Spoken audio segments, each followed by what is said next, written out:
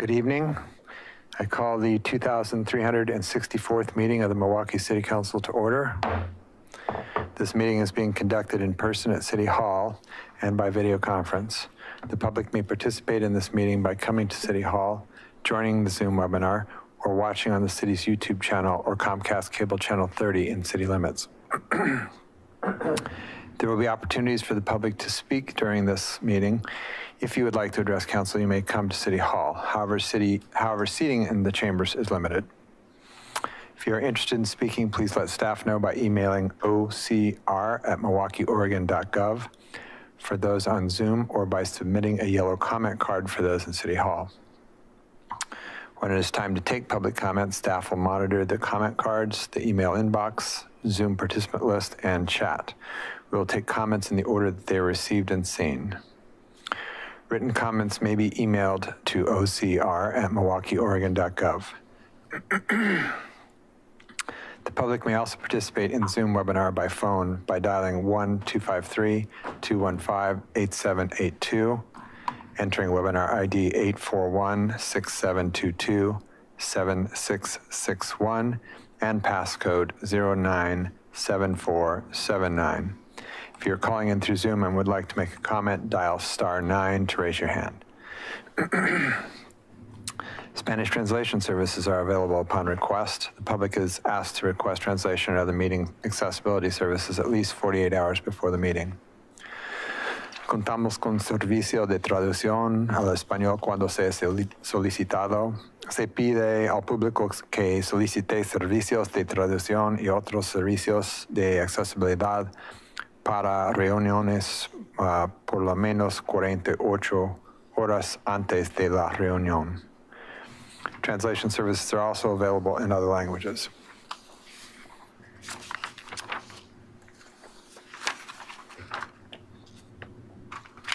All right.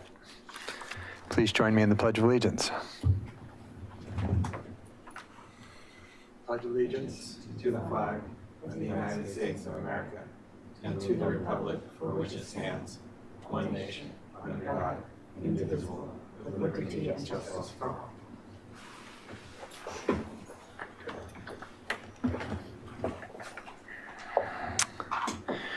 The city of Milwaukie respectfully acknowledges that our community is located on the ancestral homeland of the Clackamas people.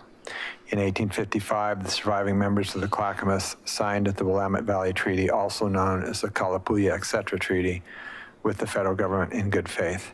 We offer our respect and gratitude to the indigenous people of this land. All right, tonight's announcements. Learn about playground design, safety, and play concepts, including nature-based, inclusive, and sensory-based at Playground Design presentation on Thursday, September 22nd, from 5:30 to 6:30 p.m. The knowledge that you gain will help you provide informed feedback during the upcoming park planning processes.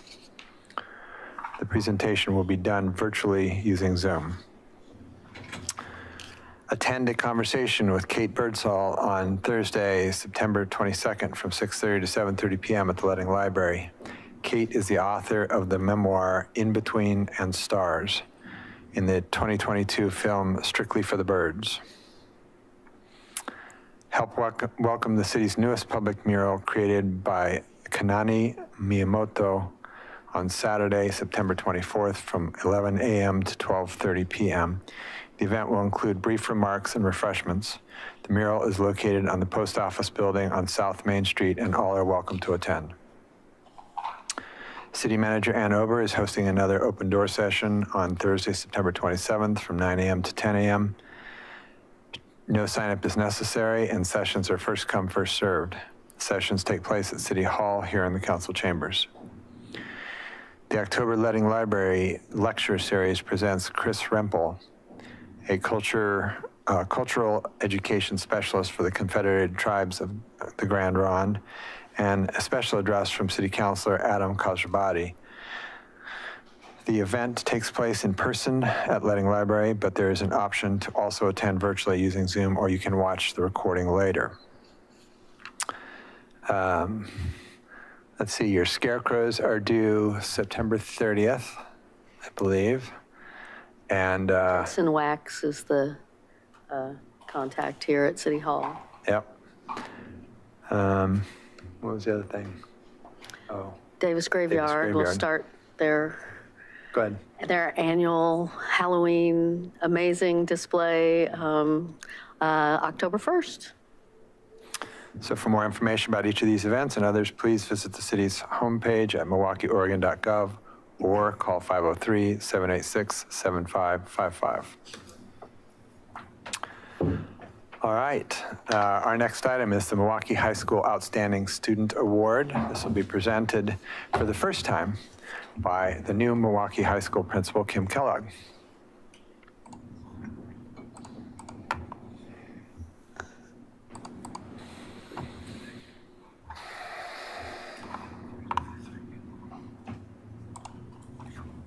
Awesome. Well, my name is Kim Kellogg, and I'm the new principal at Milwaukie High School, Milwaukie Academy of the Arts. Um, I've been in the district for 27 years.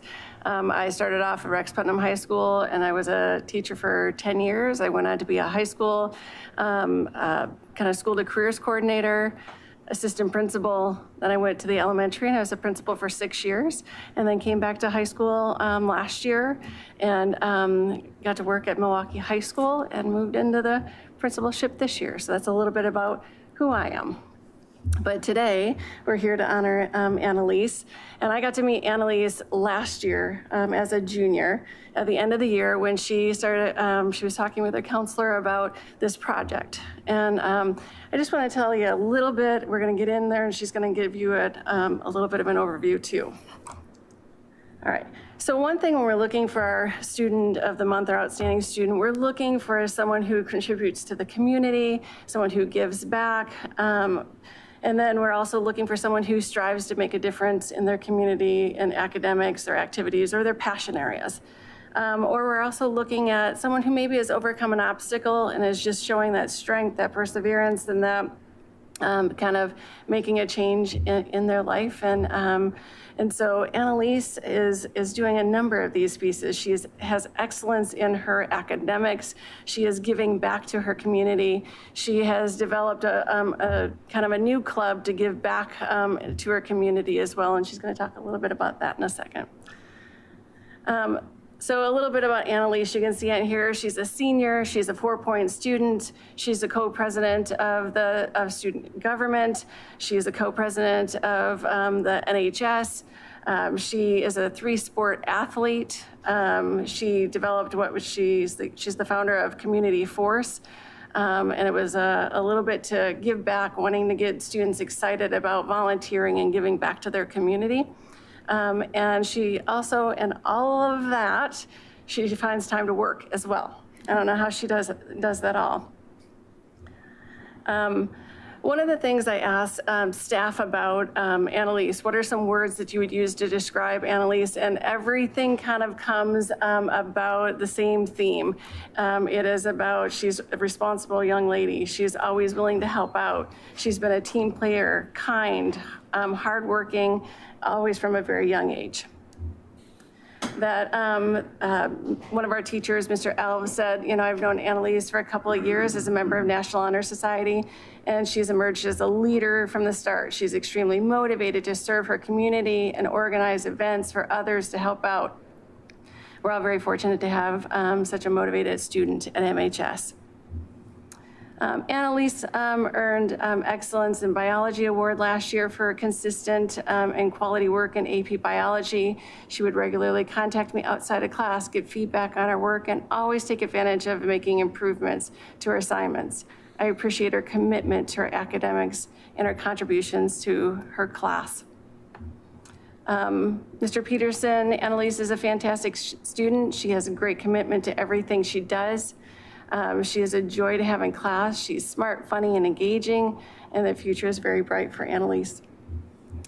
And then Mr. Schaefer, I love this one too. There's, there were many more comments, but I love this one. Annalise is one of those students who um, sees, sees something and gets it done. She's a great talent for overcoming challenges, um, staying positive, and caring about others um, enough to sacrifice her time and energy in making things better. She is just as good of a student as she is a person, and, re- and she represents us well. She's a true Mustang, and she um, definitely um, deserves the Student of the Month recognition. Um, she, I just feel like, um, in working with Annalise, she has just been such a positive person and wanting to do better for the community and, and making it a better place. And so when I said that I met her last year, um, it was about this parking lot um, project idea. And um, I'm gonna let her talk a little bit about that, but the thing that, that caught me when she talked about it is like, the city of Milwaukie has a lot of beautiful art and murals and just that, that feel and wanting to really tie Milwaukie to the community. Um, and so she had this idea and um, we'll let you go from there. since COVID and everything happened, we lost kind of like a little bit of that connection with the Milwaukie community. And Milwaukie High School is like what makes our high school so special is that we do have such a strong connection with our community. And after COVID and everything, I really wanted to not only build that stronger connection among our senior class, but also just back with the community. And I love how in Milwaukie we have so many bright and beautiful murals that I wanted to like brighten like not only the seniors at Milwaukie and other students there, but also just people that are passing by and walking through. Just seeing any like mural just can brighten anyone's day, and it makes me happy going to school and other students. So that was why I wanted to do it, just to bring the everyone at Milwaukie closer together, especially the seniors, since we did lose some senior activities, and then also just pulling in people from the community. And so one of the things that Annalise talked about, she not only, um, she started working on this in the spring, and I said, well, that isn't something that we just get to decide. I wish it was, it would have made it a lot easier. But then she um, put together a presentation and presented to um, our facilities uh, community, and also then that went to um, our senior um, exec team, and they approved kind of that um, uh, painting of the pieces, but Annalise went through, and I just want to show, um, she put, this is the presentation, we're not going to go through it all. Um, Let's see if it wants to come up. That's what I got too. I didn't get in it. It's not going, okay, well, she um, put in there about kind of what the cost, she knew, she did the research about what the paint was, what needed to be done to the parking lot before she could put that down, what would happen, um, how would, how would she elicit um, information from the seniors about um, how to get started, how to submit your designs, um, the cost so that it would offset. She did the fundraising to pay for all the paint. Um, She got um, food donated for, food and snacks for the kids who came. Um, She also wanted to put that if there was someone, because she said, I want to have that it be at $10 so we can offset the cost a little bit, but anyone who couldn't afford that, then she was like, we've got that taken care of. Um, She looked at, um, we were worried about the paint and that it being um, slippery and someone could get hurt, so she did the research around that, about what type of paint needed to be used for that. And then she worked on the communication to send out to the community, um, and then gave all the, here's the tips, here's the do's, the don'ts, and here's how you submit everything. So she had it all covered. And so I just wanted to share with you kind of some of the results of that. If you haven't had a chance to be in our parking lot, um, there was a submission form. Okay, let's hope the video will, will work. Any suggestions here? Okay. The show is on here. I'm just gonna go for it.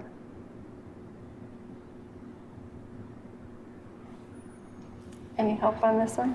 That's a little arrow for a video. I saw my other window. I saw a video come up, so I saw it too. Uh, escape. There it goes. There. This for the YouTube audience. Let's see if we can pull that up. Share. It's only a minute long, so you can just kind of see a little bit of Annalise's work Oh, that, Oh. Is there a volume or is it just yeah, it's, there's music to it, but it's, it's okay if it, Okay. I don't know if we get the volume. all right. But there was music to it, but that's okay. You can still see kind of the work that, Wow. It's really cool.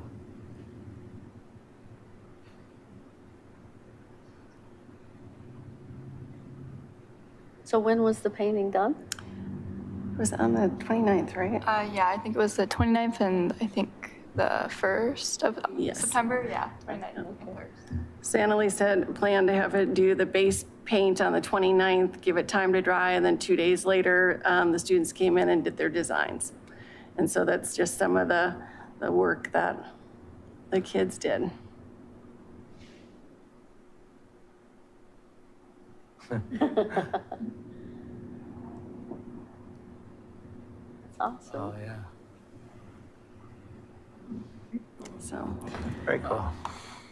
So that's kind of um, some of the, the pieces. Do you have other things you want to add about um, Community Force? Why don't you tell them a little bit about your organization of that?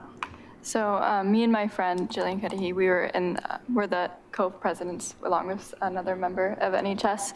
And um, last year we noticed like a big like decrease in like people not being able to find volunteer hours, especially because of like after COVID again, like there's been a lot of like there's there was been a lack of opportunity because of COVID, but um, also people weren't as excited to volunteer anymore, and so we wanted to have community force to like get people excited. Like if sometimes it can be awkward, like going to volunteer somewhere when it's just by yourself. So that's why we did this. So like it can be a group thing, and we make volunteering fun. Because personally, I like to volunteer, and so does my other friend Jillian, and so that's why we got together and started that club and it just brought everyone together. And so far, we've had a couple things. We started last semester, and we did like painting rocks, and we put those around Milwaukie, the community. You might be able to find some still. We put some by, and then um, we made some like cards for kids.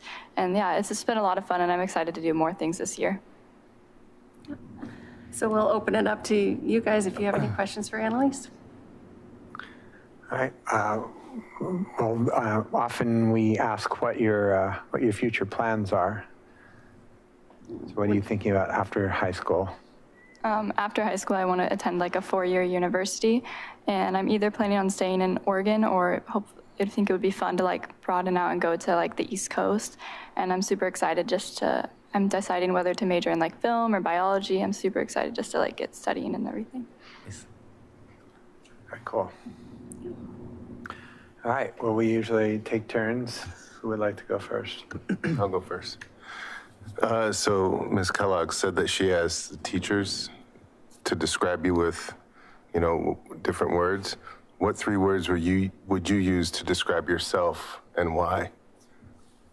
Um, I think I would describe myself as one just optimistic because and driven and probably funny because um, I often like there can, everyone can be placed in like a difficult situation and I try to always see like the brighter side to it and also like with that just like driving like to just keep on going and everything.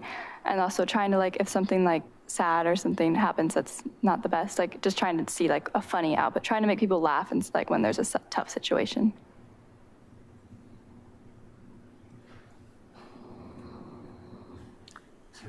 Well, I'm happy to go. Don't rehearse this. Uh, Yeah, we, we definitely don't rehearse this. Well, you're a really impressive young lady, and I'm kind of, it's kind of nice to know that you haven't uh, entirely decided where you want to go, and you're exploring a lot of options. I think that's an exciting part of being a high school senior, and, um, and also not pinning down a major. I actually didn't declare a major till I was a junior, so I, I know that's harder these days than it was back then, but um, um, so I think it's you've got some really exciting opportunities ahead, and um, I really want to thank you for the kind of community building that's so important after COVID. I mean, it's so important all the time, but after COVID in particular, and it's great that you sort of had the insight to see that and um, take that by the horns and. Um, and it's also cool that you're inspired by the murals in Milwaukie. I think we need to let our art committee know about that because they did a lot of work to get those murals up. So it's great to have the high school joining in that um, sense of community. So best of luck to you. And uh, we'll look forward to seeing where you do end up going. thank you Uh, I had two questions for you. One is a really practical one, and I'll do that one second. And then the other one is just, it's the beginning of the school year. We're relatively out of the pandemic, or at least we're pretending like we're out of it mostly. So what are you, what are you hoping to have as a, an experience this year? What, what didn't you get to do, or, you know, it's your last year at MHS. So what are you looking forward to?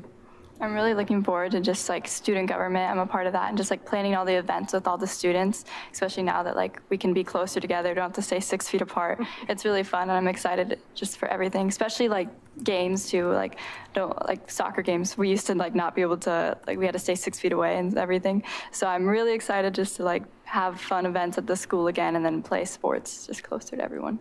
Yeah, that's great. And my other question was, are you, do you need, are you interested in suggestions for volunteering opportunities, or do you have? It's kind of a loaded question.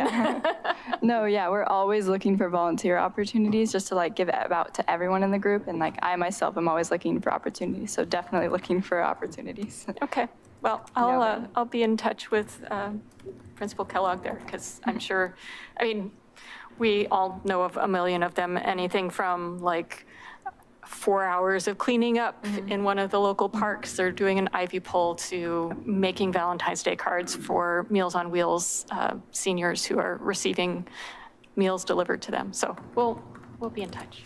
Awesome. Thank you for all you're doing. And I, I actually would like to ask, uh, do you, like, wh- where do you see the community force going? Do you, do you see it expanding to other high schools and, and you guys partnering with other high schools to do the same work? Um, we're not partnering with other high schools at the moment, but I'm thinking of it as if you've heard of Key Club. I know Clackamas High School does Key Club, and it's very similar to that. Um, we just wanted to put like our own spin on it, I guess, for Milwaukie High School. And I'm hoping that next year will continue to go on, and then we can have like a junior be the new like president of Community Force. So I'm really hoping that it continues after this year, especially. And um, I hope that we get to do more events this year. Like, I want us to do more things. And um, I know we're already talking about maybe doing like a fundraiser for Community Force and do, donating those funds. Well, thank you so much. I appreciate what you're doing, and, and you know, this is, uh, this is what leading by example looks like, um, and this is what the next generation of leadership is going to look like. So we appreciate it. Uh, you're somebody that people are going to look to, younger generations are going to look to as well, and just keep it up. Uh, don't let that light die out. Keep shining.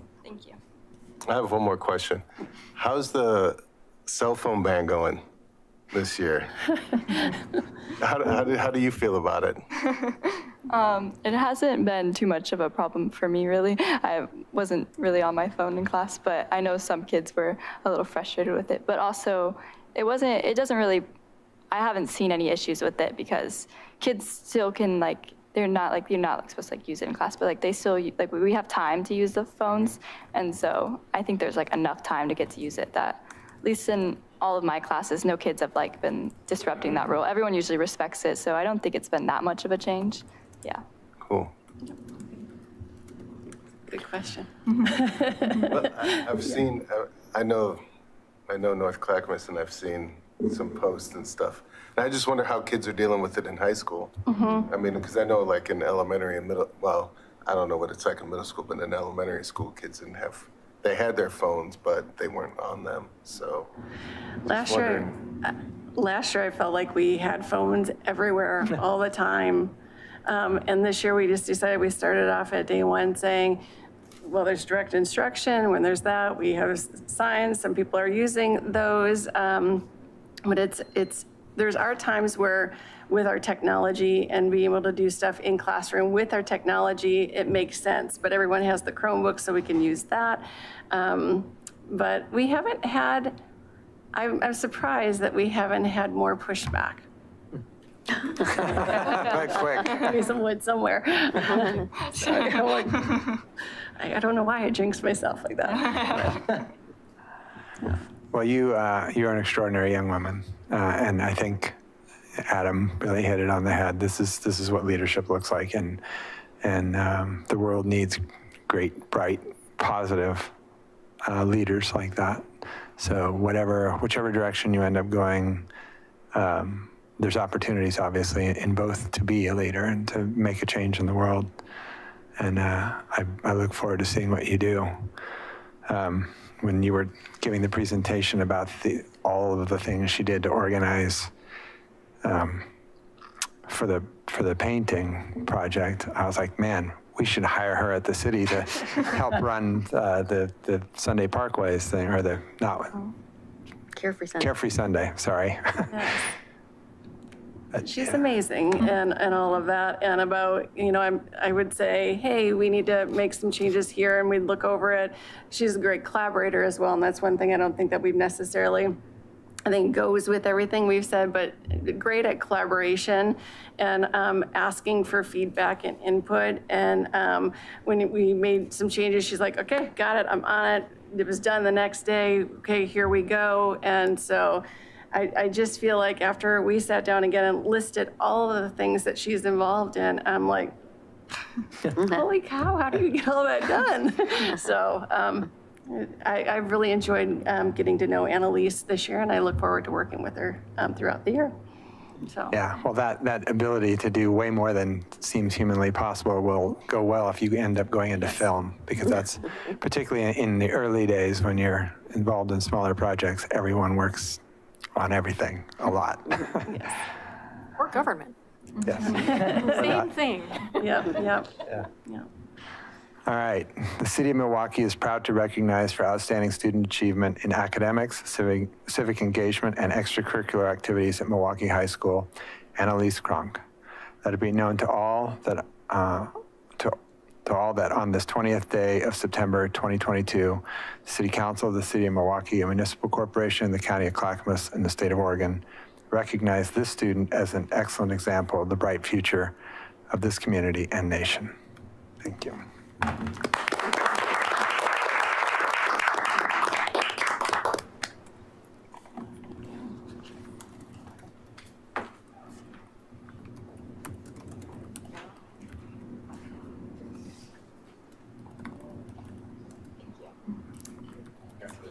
Thank you, Alice.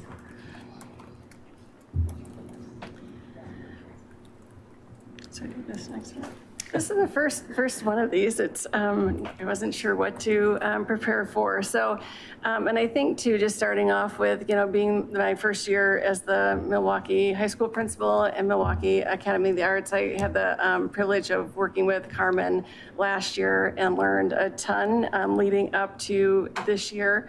Um, and so I think we're taking things that we were working on last year, and I just wanted to talk about what are our main goals that we're focus on, focusing on, and starting there. But before I start that, this year we, I built a schedule um, based on um, um, about 1,149, and currently, as of today, we're at uh, 1,283 students. Wow. And so, um, right now, we have 324 students at Milwaukie Academy of the Arts, and we have about 959 um, students at Milwaukie High School.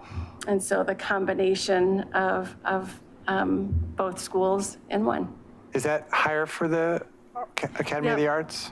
Um, we can have up to 400 students in Milwaukie Academy of the Arts, kind of 100 um, students per um, uh, class or grade level. And so we actually are at 101 at the ninth grade level, so. Wow. Yeah. Um, And I wanted to look back at, and what we're looking at the data, I put 1920, kind of our graduation rates um, of on-time graduation. Um, We were at 85% um, at Milwaukie High School and 87% at Milwaukie Academy of the Arts, and kind of our state average is 80%. So that's something that we're continuing to, to work on and um, to build towards and to increase. And then for our, um, everything, I always think of big umbrellas um, as far as the things that we stand for. Um, With our core values, we try to really make our decisions around um, kind of that being student-centered. Is the decisions we're making, is it student-centered? Is it relationship-based? Um, Is it about um, helping our students to be future-ready? And then all about equity, diversity, and inclusion. And if we're making decisions or we have practices that um, are excluding um, or isn't um, based on our equity lens, then we need to think about if, why we're making that decision. So all of the pieces that we're going with are with those um, core values in mind. And so our SIP, which is our school improvement plan, um, really is focusing, we, we're doing a lot of work this year, um, as we always do, but um, the four areas we're going to be looking at ninth grade teams, Um, We're really focusing on, because we know um, the data really suggests that if um, students, when they enter into the ninth grade, if they don't, if they're not as successful in their academics, in English and math in particular, if they don't pass those courses, then the likelihood of graduating on time, or if at all, is significantly diminished. And so we really look at, we've built ninth grade teams, and so we have, um, all ninth graders are on a team uh, with a science, or biology, no, whew, physics teacher, um, math teacher, and an English teacher. And so those three teachers share the same, like, 100 students.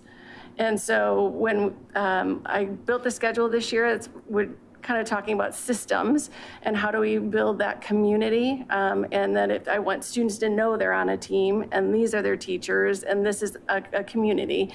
Um, so they have uh, all their classes on one day. And they can take even like, if it's a first and second period class, they can combine their classes and um, see all their kids in that one period and then have their students do a project-based um, um, in the third period. Or they can say, if I need to do some reteaching on some of the content that I had, but I need these three, I need this group of students from all three of my classes, I can do that. So it's talking about having our systems support our students and the work that we're doing. Um, because we know sometimes students, we need to meet our students where they're at and what they need. And sometimes we need to do reteaching. Sometimes, sometimes we need to look at things a little bit differently. Um, we're really looking at um, student engagement and those engagement practices within our classrooms. Um, and as a district, we're looking at um, this whole like talk structures and how do we engage in a higher level discussion and um, one of the pieces we're doing is we're centering all of our work around that engagement in our class. How do we do that a little bit differently? Coming back from COVID last year, was um, tricky from being online and coming back in person. And how do I engage with this many people? I was online and now I have 35 students in my class. Um, and how do I interact? How do I um, kind of do that? So it's kind of like doing some more reteaching. We did that last year and we're focusing on that and going to that next level again this year about that engagement, having them, having students know how to talk and how, know how to dis disagree in a respectful way, know how to, um, it won't be just the teacher asking the question, question, the student giving the response, but how do we engage with each other? And um, so that's one of the pieces there. We're really continuing to look at equitable grading practices. Um, we've been doing a lot of work over the last few years um, with these practices. And this year, um, in our professional development at the beginning of the year, we looked at, we no longer will kind of go from that zero to 100 scale. You have 60% um, of an opportunity to, to fail, but you only have 10% increments in order to achieve. And so what we're trying to do is even out those um, grading buckets um, per se, that so that it's more evenly distributed um, about the grading for students. Also making it really clear about the grading is about what the student learning is. It's not about showing up. It's not about, you know, I turned this in. It's about what is that learning and how do we assess the learning that students are having? And does that grade really reflect the student learning? And so we're doing, a, um, continuing our work with that. And I feel like um, at our professional development, we had this great conversation and it was different than the conversations maybe that we've had in the, you know, even the last five years. And you can probably speak to that too, Desi, but about, it is about the, um, it's not about, no, I'm not doing it, this is the way I'm, I'm, grading. It's about how do I make that work? How do I explain that to students? How do I really, that grade really reflect the students' understanding of what we're teaching? And how do I help engage the students in that conversation as opposed to, what do I need to do to get this A? What do I need to do to get this? And it's not about just the points, it's about the learning. And so we're trying to make that shift. And then we're also looking at our advanced placement, our AP classes, um, and looking at um, the demographic, our students that are taking AP classes and who's not taking AP classes and why.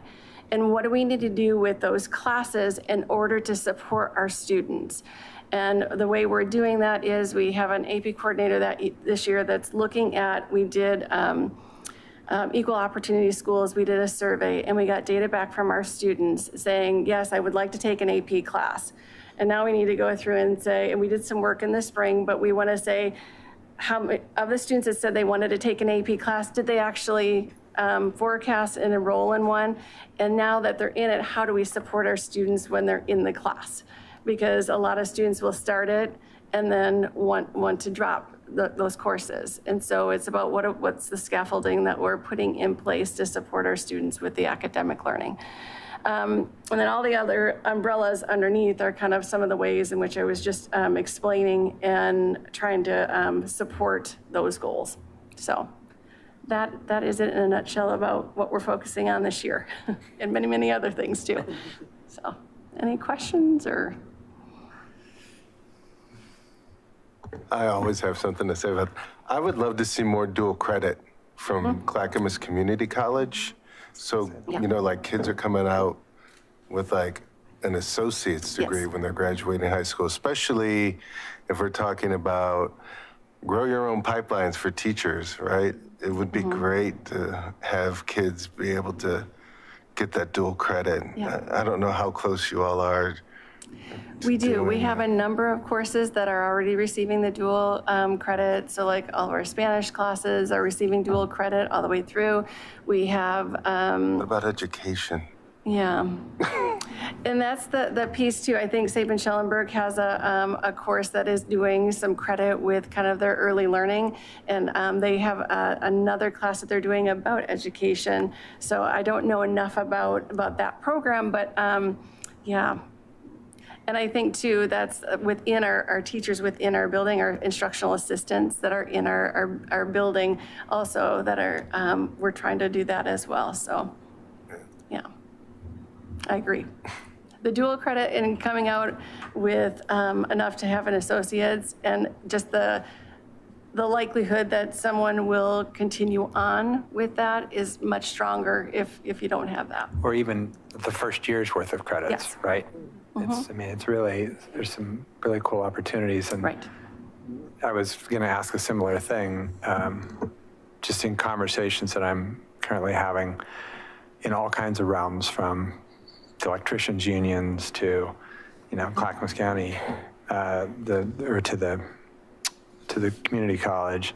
It's just the opportunities to get, to help kids find opportunities earlier, get them plugged in so that they're they're faced with a lot more you know chances to do something interesting or to do something very valuable with their lives instead of kind of this scary brick wall of wow I gotta you know borrow $120,000 to get a four-year degree so that I can make something of myself right? And there's just I think there's so many more opportunities out there and it would be really cool to coordinate try and see more of interaction between the community college and the various, you know, uh, other educational opportunities out there for, for kids, looking at what they're going to do with the rest of their lives.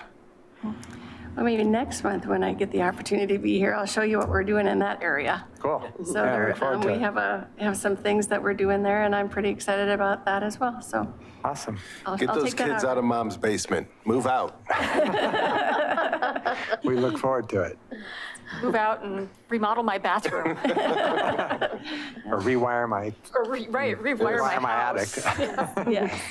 Yeah, awesome. Thank you very much. Appreciate it. Thank you and congratulations again. Yeah. Thank you for the opportunity. I'll see you Bet. guys next month. All right. Our next item is uh, National Preparedness Month proclamation. This will be presented by uh, Councilor Beatty and Clackamas Fire Assistant Chief uh, Brian Stewart. So I'll kick it off, but it's really mostly going to be Chief Stewart. Um, I, you know, we have done this proclamation for a few years now. I don't think we really talk about preparedness enough. Um, we all know we have, I mean, we, we did talk about it a bit around the uh, 2020 wildfires.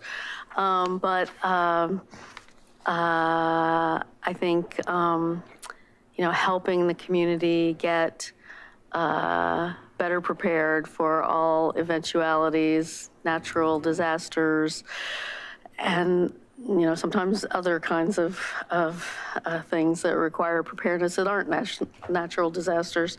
Um, is important. And we've had uh, the CERT teams, the Milwaukie CERT teams, which are pretty active, come before uh, the last couple years on this proclamation. But I thought it would be nice to switch it up and hear from the fire district uh, to spread a little word about what what's on their mind vis-a-vis preparedness. Well, certainly. Uh, Thank you so much for having me this evening. I appreciate the opportunity to be in front of the council. And thank you, Councilor Beatty, for the invitation to be here tonight. Uh, You know, it's interesting, I reflected, I looked at the the proclamation uh, that's set to, to be considered by the council, and it made me reflect on a couple things. And one of the terms that came to mind was partnership. And the partnership of being invited here, the partnership that we have uh, with city councilor and with uh, the interagency committee. Um, And those partnerships uh, bear fruit. With the recent wind event, uh, I know our fire chief was in contact with your, your city manager. And those things help prepare us for those, those short-term things that we can see that are coming. And, and we work together between agencies to make sure that our response and our ability to mitigate those are, are appropriate. But I also realize that there's a gap. There's a gap in our ability as a fire district to provide all the services that are going to be requested in times of uh, catastrophe or emergency. There's a gap in the ability of the city of Milwaukie, the city of, or the, the county, whatever agency. There's always a gap in our ability to respond to the multitudes of calls and the capacity that's needed. And so our goal, my goal, uh, as a fire agency representative, is to reaffirm the importance of preparedness. Um, we want people to feel secure. We want people to feel comfortable in their lives and that they're prepared for uh, eventuality, for possibility. Um, that when they put their kids to bed at night, when they go to work, when they're commuting, that they understand that they're empowered to respond to what their local needs are. Uh, and I think in the proclamation, it speaks to a 72 hour kit and those types of things that should be in the car and should be at home and, and along those routes. So it's, it's important that we have these conversations and it's important that, that councils and, and our board took action on a proclamation as well because it, it demonstrates levity. It demonstrates the gravity of uh, the circumstance that isn't in front of, in front of us today, but that may be in front of us tomorrow or next week or in five years. Um, So by the, the council considering this tonight, it helps encourage the partnerships and the education that we put forward and the activities that we as an organization um, collaborate on. Uh, So I appreciate the, the undertaking uh, and the importance and the, the opportunity to be here to this evening. Thank you. Thank you. Do you want to read the proclamation, or do you want me to? Go ahead. All right. Whereas the month of September is recognized by emergency responders and public safety agencies nationwide as a time to actively promote emergency preparedness in our communities through planned activities, events, and public awareness campaigns. And whereas the theme of this year's National Preparedness Month is a lasting legacy, recognizes the importance of creating plans to respond to natural disasters to be better prepared to protect ourselves and our communities against both immediate crises and their residual effects. And whereas emergency preparedness is the responsibility of everyone, and all are urged to work together to ensure that individuals, families, neighborhoods, businesses, and communities are prepared for disasters and emergencies of any type.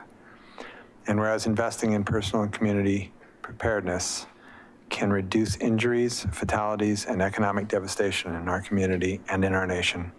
And whereas during September, the city of Milwaukie urges residents to prepare themselves for emergencies by assembling an emergency go kit, including three days of water, medications, and other emergency supplies, by enrolling in communication platforms to receive emergency alerts, and by learning about regional and statewide evacuation procedures, which you can find at www.clackamasfire.com and www.oregon.gov slash OEM.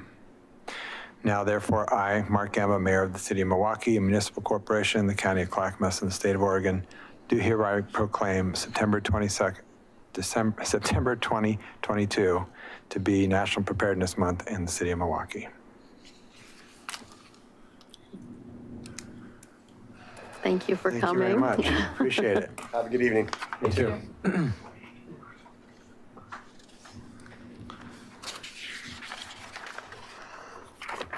All right, this is the part of the agenda during which council will hear community members' statements regarding city business. For those in person who wish to speak, please submit a yellow comment card found on the table just outside the door. If you're on Zoom, please use the raise hand reaction to alert staff who wish to speak, and when instructed to, begin. Click the microphone option to unmute yourself. If you are calling in through Zoom and would like to make a comment, dial star nine to raise your hand. You may also submit a comment via email to ocr@milwaukieoregon.gov. Before you make your comments, please state your name and city of residence for the record. If you would like the city to follow up with you, please submit your contact information to ocr@milwaukieoregon.gov. As council has other business items on the agenda this evening, speakers will be limited to three minutes each.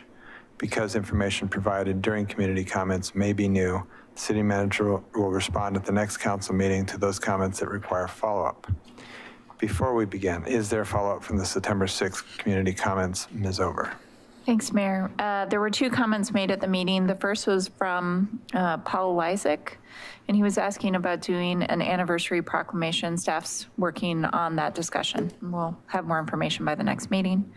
Uh, The second was with Pat Strauss, and it was a discussion about the um, code enforcement that's being done on, on the property at their house. I do believe, Mayor, that you've been in touch with her again, um, and I know that she's had additional uh, interactions, but that's all the information I have today. Okay, Thank you. thanks. Got anybody online, Scott?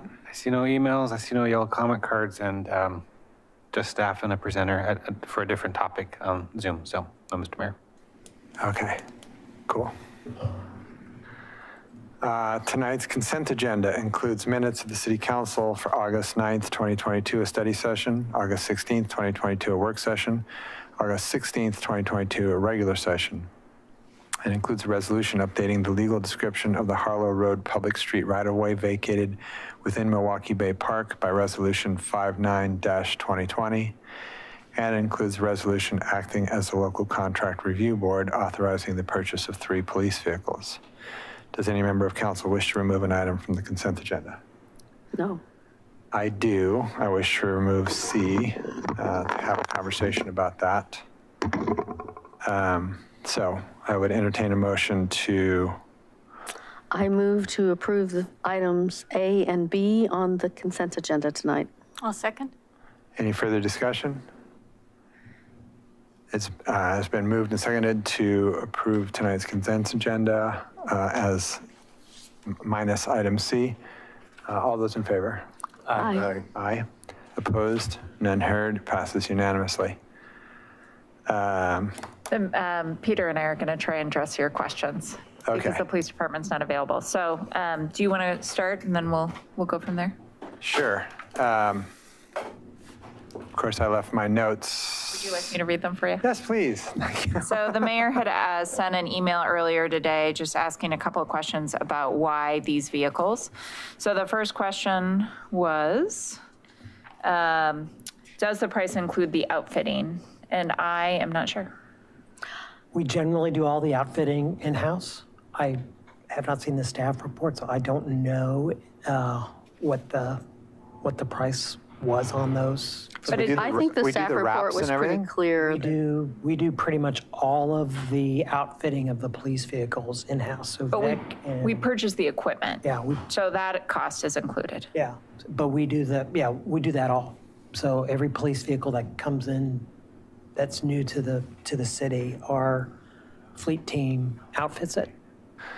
So the reasoning that I've often been told for why not change vehicles is that it's less expensive to do the ones we're currently using because that They're prefabbed. It's So some of the so everything pieces- else is customized if you, No, some of the pieces are prefabbed and they fit into the, Right. the design of the vehicle we have without modification. When we start going into the modification part, um, we saw this when we did the Tesla for the chief, we actually had to, the, the lights are in different places than they would be on one of our other vehicles. So we had to do specialty installs on a bunch of those. Um, It worked, but it was, it's just more complicated and it means that you can't buy the off, the shelf stuff. You have to do a little more customization. okay? Uh, The second question is which hybrids and EVs were considered?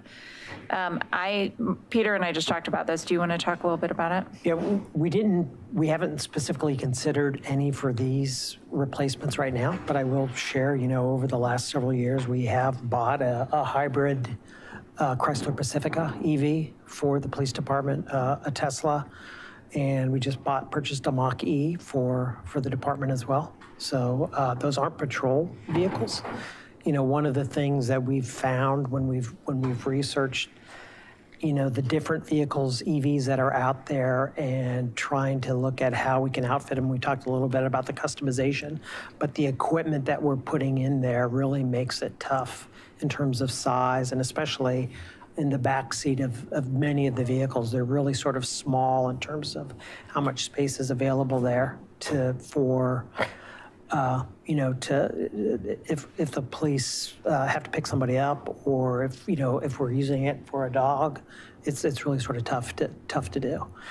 Uh, I do know that there are several models that are, are in the mix in, in F, you know, 2024. They're saying that they are coming out with police uh, vehicles, EV vehicles. I think Dodge, uh, a char, not a, is it a Charger? One, there is a, there's an EV specifically that they're making. What, what better name for an EV? right? Yeah. We've been waiting for 50 years. Those are, those are, Charger. yeah. So I think, I think they're coming out with that in '24. You know, we have found over the last, over this past uh, two years that, you know, the, uh, the EVs for, you know, light-duty pickup trucks uh, are are coming out on the market. There's a, a long uh, wait, wait time. We have to, we've, we've got one on order. One's being built for October for our Public Works Department. Uh, But they're, they're- it's hard to, it's hard to get one.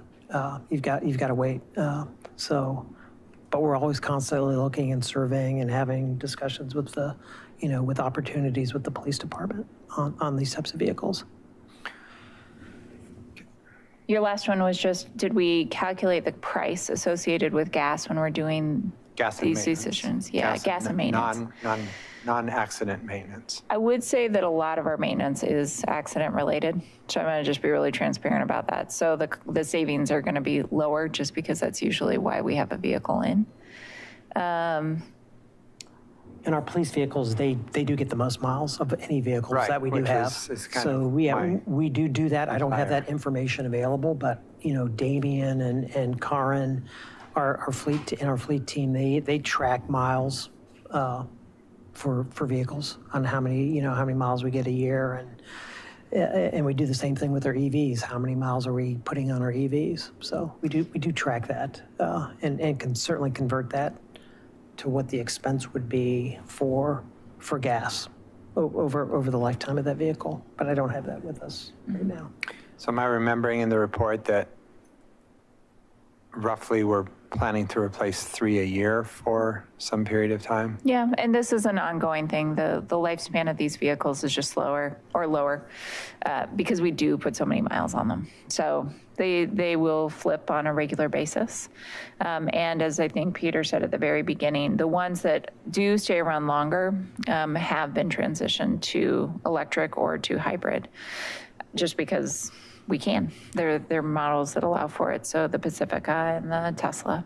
And in, and and in terms of charging infrastructure, uh, Damien is actually working on a project to install new charging infrastructure at, uh, at the Public Safety Building uh, and our Public Works Department, the library, and the new City Hall, so, and Johnson Creek as well, so.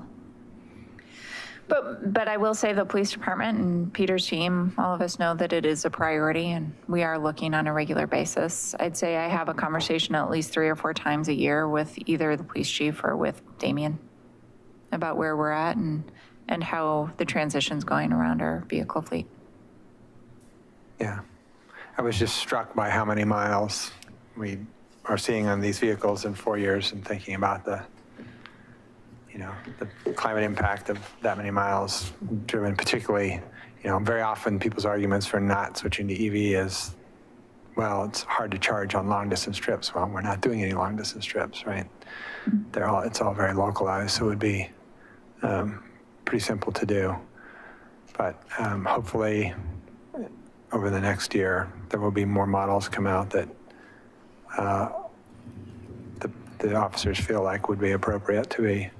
Yeah, and they're coming out with, you know, specifically designed models for, for police departments, for patrol vehicles and things like that, that didn't exist before.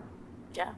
I was just looking up the 2024 Dodge Charger. It sounds really awesome. 500 mile estimated range, Wow. all sorts of cool stuff going on there. So I think it's gonna, it sounds like it's gonna hit the mark and probably be really exciting, in addition to fulfilling the necessary dry requirements that the police department needs to fulfill. So, Well, and I also just want to make sure that um, before we get, I do love the new vehicle and I'm really excited about it, but uh, different officers do need different resources within the vehicle. So one style is not going to actually meet the full demands of the department, but it would allow us to start turning some of them over. All right, Thanks. thank you. I appreciate it. We need, we need a motion to uh, pass item C. I'll move to approve a resolution acting as the local contract review board authorizing the purchase of three police vehicles. I second.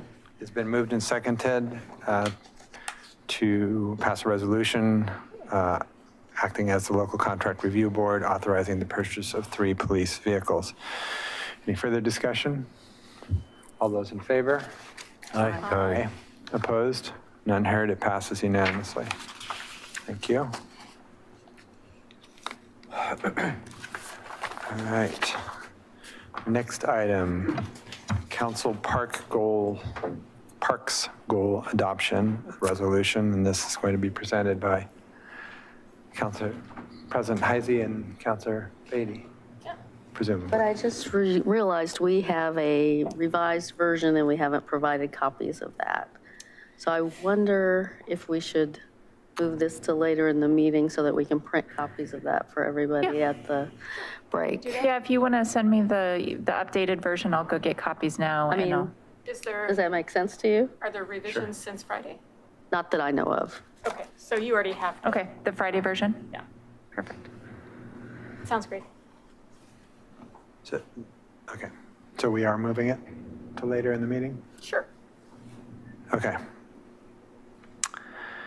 In that case, uh, capital projects update, uh, which will be presented by our city engineer Steve Adams and assistant city engineer Jennifer Garbely.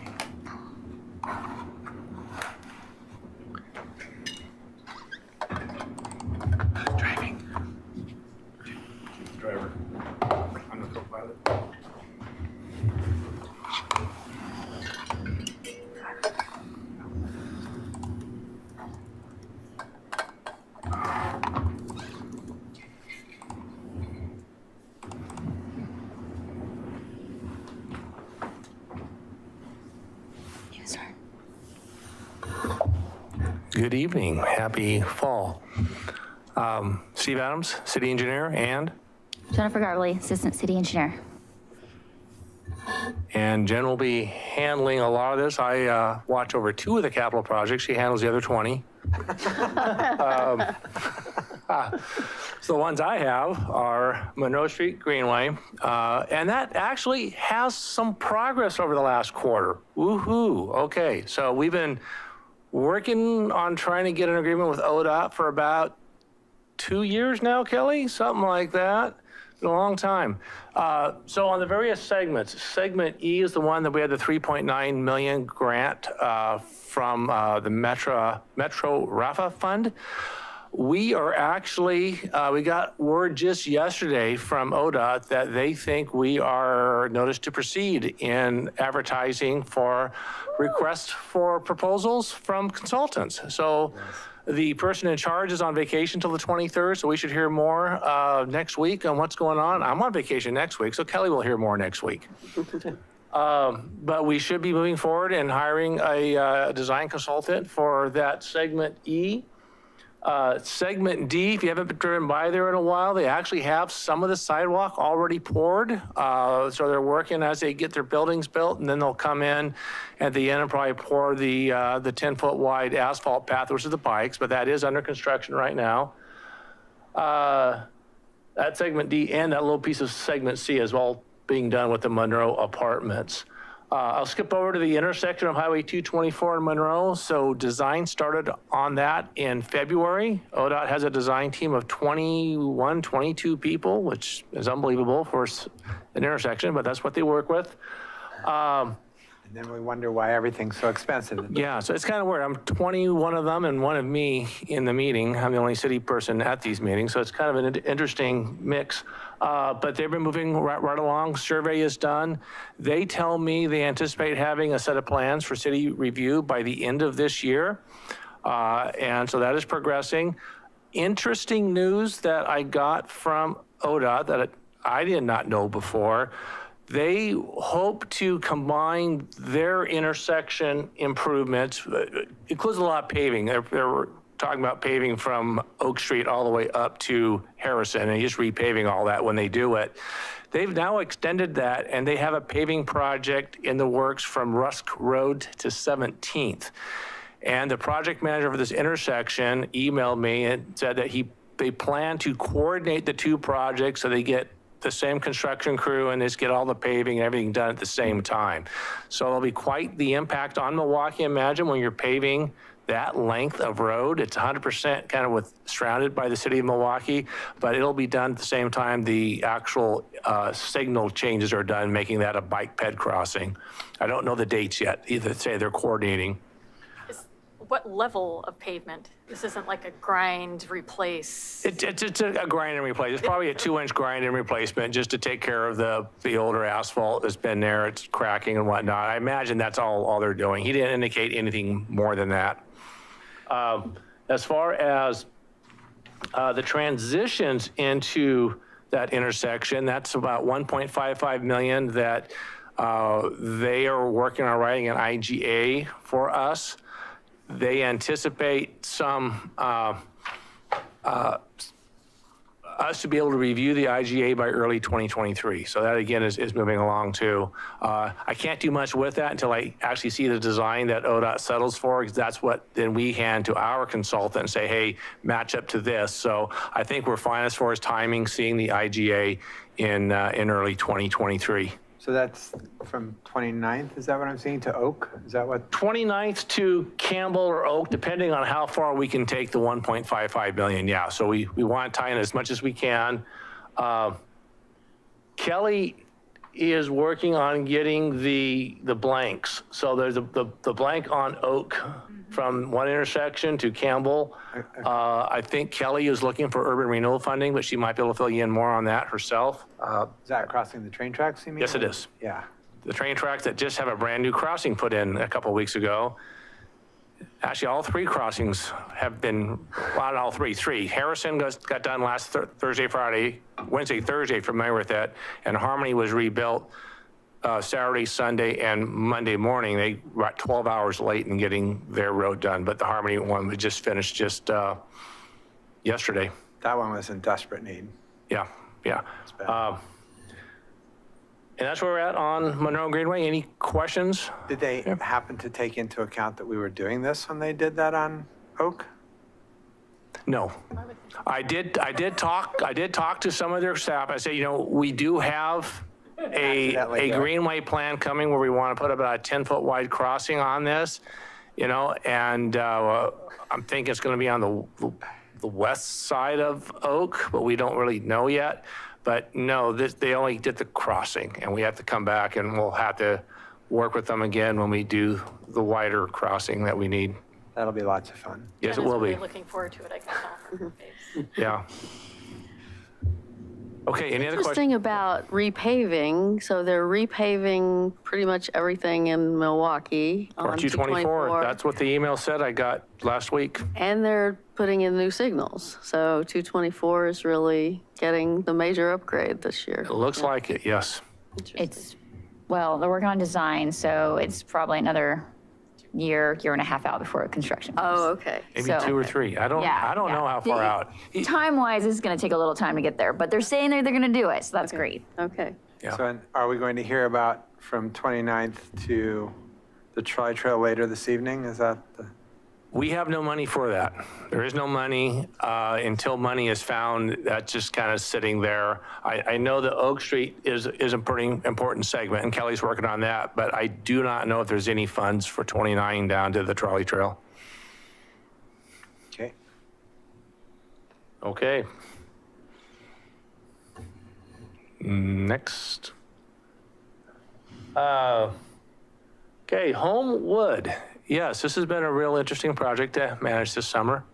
Uh, We take some steps forward, we take some steps backwards. Uh, Kerr's been one of the more challenging construction companies to work, work with.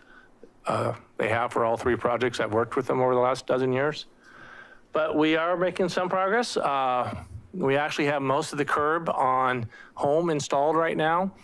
Uh, Wood was paved, base paved in um, early August. And so it's been cement amended, base paved. It's been ready to be top lifted for uh, five or six weeks now, six weeks now. Uh, Home Avenue was cement treated uh, a few weeks ago, and they've been working on, on putting all the curb, getting the curb ready, so you just pave up against the uh, curb and gutter. So most of that, we're at a 90, 95%. 90% of the curb is in, that's gonna, gonna be, be installed. Um, They get a little more curb work they're gonna work on Thursday. Next week is paving week. So next week, Monday, Tuesday, they put the base lift on Wood, uh, south half first, home, sorry about that, thank you. Uh, Railroad to about, uh, is it Dick Lane? Uh, Dick Avenue is the base lift on Monday. Base lift on Tuesday is from Dick all the way up to uh, King. Then they come back on Wednesday and they can top lift the whole thing in one day. So it'd be top lifted on Wednesday. Thursday, we go over to Wood and we top lift Wood. We take care of all of Wood on Thursday. Friday, they come back over to Home and they do the asphalt driveway connections from the new street to the private driveways. And that'll be They've said one day, it might be a very long day, so we'll have to have staff ready to go into the evening. Uh, I'm on vacation next week, so Jen's aware of this. Um, And, uh, but we, we will have it all paved, and then uh, October pretty much is form and install side, sidewalk on the west side of home, and that'll be probably a good chunk of October. Hopefully, they get it done by the end of October, but there'll be a lot of sidewalk pouring in, in that zone. But at least the street will be paved, so people won't have the dust and won't have the, you know, the issues at hand. Um, But no, it's actually uh, coming along pretty good right now. And are we using the, um, the pavement that you used on Lake? Is that now our? No, we're not. No, this, this is, this is just regular um, uh, impervious asphalt. Um, You need enough traffic, enough higher speed that the leaves get blown off the road. And uh, I know Wood doesn't have the traffic counts, and so the, it would tend to get ground up in it. Uh, Home, uh, questionable. The, the speeds aren't really high. We are putting in four or five speed cushions on home. It has three on there right now, so we're putting in five more to reduce speeds. And, and if, um, on the south end, we did narrow the street down to 21 feet so that traffic coming and going uh, visually, it will look narrow. There's to be a yellow stripe in that south 200 feet, but we want cars to enter and leave the neighborhood on a, knowing they're in a neighborhood and not speeding. Speeding on that south end was one of the common complaints that we've heard, so we, we narrowed that down. Um, And up at, up at Dick to accommodate for the huge fir trees on the east side of the road, we shifted the whole road to the west about five or six feet. So as you come up the street, you'll actually jog to the west a little bit, then jog back. And that jog will also help to slow traffic down. Uh, in the north end, uh, where we are adding curb, we're again at about a 21-foot asphalt width as we approach King Road. So again, we're trying to keep cars to go at a more moderate speed down, down home with the uh, placement of curb and uh, the width of the, uh, the asphalt. Any, any other questions? I, I give it to Jen.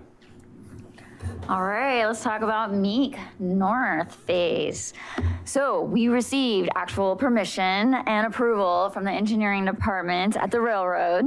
It was very exciting. Um, I've got an agreement right now. Um, there's a couple amendments I wanted to it um, when they sent the original one over, um, but we're getting close. Um, with that, it's got a closing date of January 2023. Um, once we get that closing date um, and everything goes and we have the actual property, then I can go out for construction. So that project is fully designed and ready to go. So we don't have a whole lot of wait time once we get that process moving forward. So we're working on that agreement. I'll be back for an actual um, payment authorization to purchase the property and the pipeline easement um, that goes from the north side of the um, pond to connect into a Roswell station. So that's exciting and moving forward. What do you think finally got the railroad? Did what? What do you think finally got the railroad? They um, actually reduced um, our footprint. It'll save us some money, um, but they wanted a 50-foot right-of-way through the area instead of a 30-foot right-of-way. So we basically took off 20 feet, um, pushed the pond a little bit further uh, east a little bit, kind of redesigned it slightly um, to handle that. Um, and just means we just have a little less room to move around in that area. Um, but that's what that's what ultimately they said. Okay, they turned over a lot of staff people, so that was the hard part. Is it was like uh, another person started, you know, a new person, so then they had to go through the review process again, and um, but finally they did approve it, and that's so it will be a reduced from when we originally. Um, I think we're going to purchase the property for over 800. Now we're closer to 600. Um, so there was a significant um, drop in the price, which is great, um, and we can we'll make that work. Did you So- get any sense during all that back and forth thing that they are looking towards double tracking through there? Oh yeah. oh yeah, absolutely. No, that's the number one reason. Can they? Yeah, the 50 foot is actually more for a triple track in a sense, which I don't see how they could possibly get through there, but that's them. Um, no, they've always they yeah, a double track is definitely something they're considering. Yeah. So correct. We just have to keep that in our heads as we're doing our TSP. Yeah, absolutely. Yeah. So. All right, let's move on to 42nd, 43rd, safe improvements. We are gonna wrap up this month. We are gonna be done. It's gonna be completely done and complete, which is absolutely exciting. Um, super happy with Tapani. They came in and basically busted it out in like seven months. Um, so really impressed and super exciting. We are gonna have a party. It'll be in October or early November. I don't quite have the details yet. We're still working that out, but you'll be invited. Will there be Sharrow decorated donuts available at this party? Um, I'm not sure about that, but let me see what we can, Plant some seeds here. let me see what we can do. Um, yeah, so right, Sharrows through the whole thing? No, there is sharrows on the, um, 42nd. the um, east side lane. I'm going north because we only have a uh, 10-foot multi-path on one side. So there is sharrows that come down. There's sharrows on Howell and then 42nd, all the way to Johnson Creek, because that is the bike route, Oh. which is identified in the current um, TSP. Yeah. So yeah. I was admiring them the last time I was down there. I was like, this is, this is a very high Sharrow density area. Have you seen the Sharrows on 29th? I have, yes, yes. Mm-hmm. If Jacob Sherman is watching, I admired those as well. Mm-hmm. So yeah, so there's one of our nice completions and we're quite excited about. Um, so next, what we're, at right now, Ardenwald North improvements is being designed in-house. Um, we're just about at a 60%, um, still moving with that shared roadway concept. Um, so moving along, we um, are getting closer and we'll not exactly sure we're going to get it out. Kind of depends on money, but um, I, we're getting close on our bond, so we'll talk about that in a little bit. Washington area improvements. So this is a project that is outsourced um, to AKS.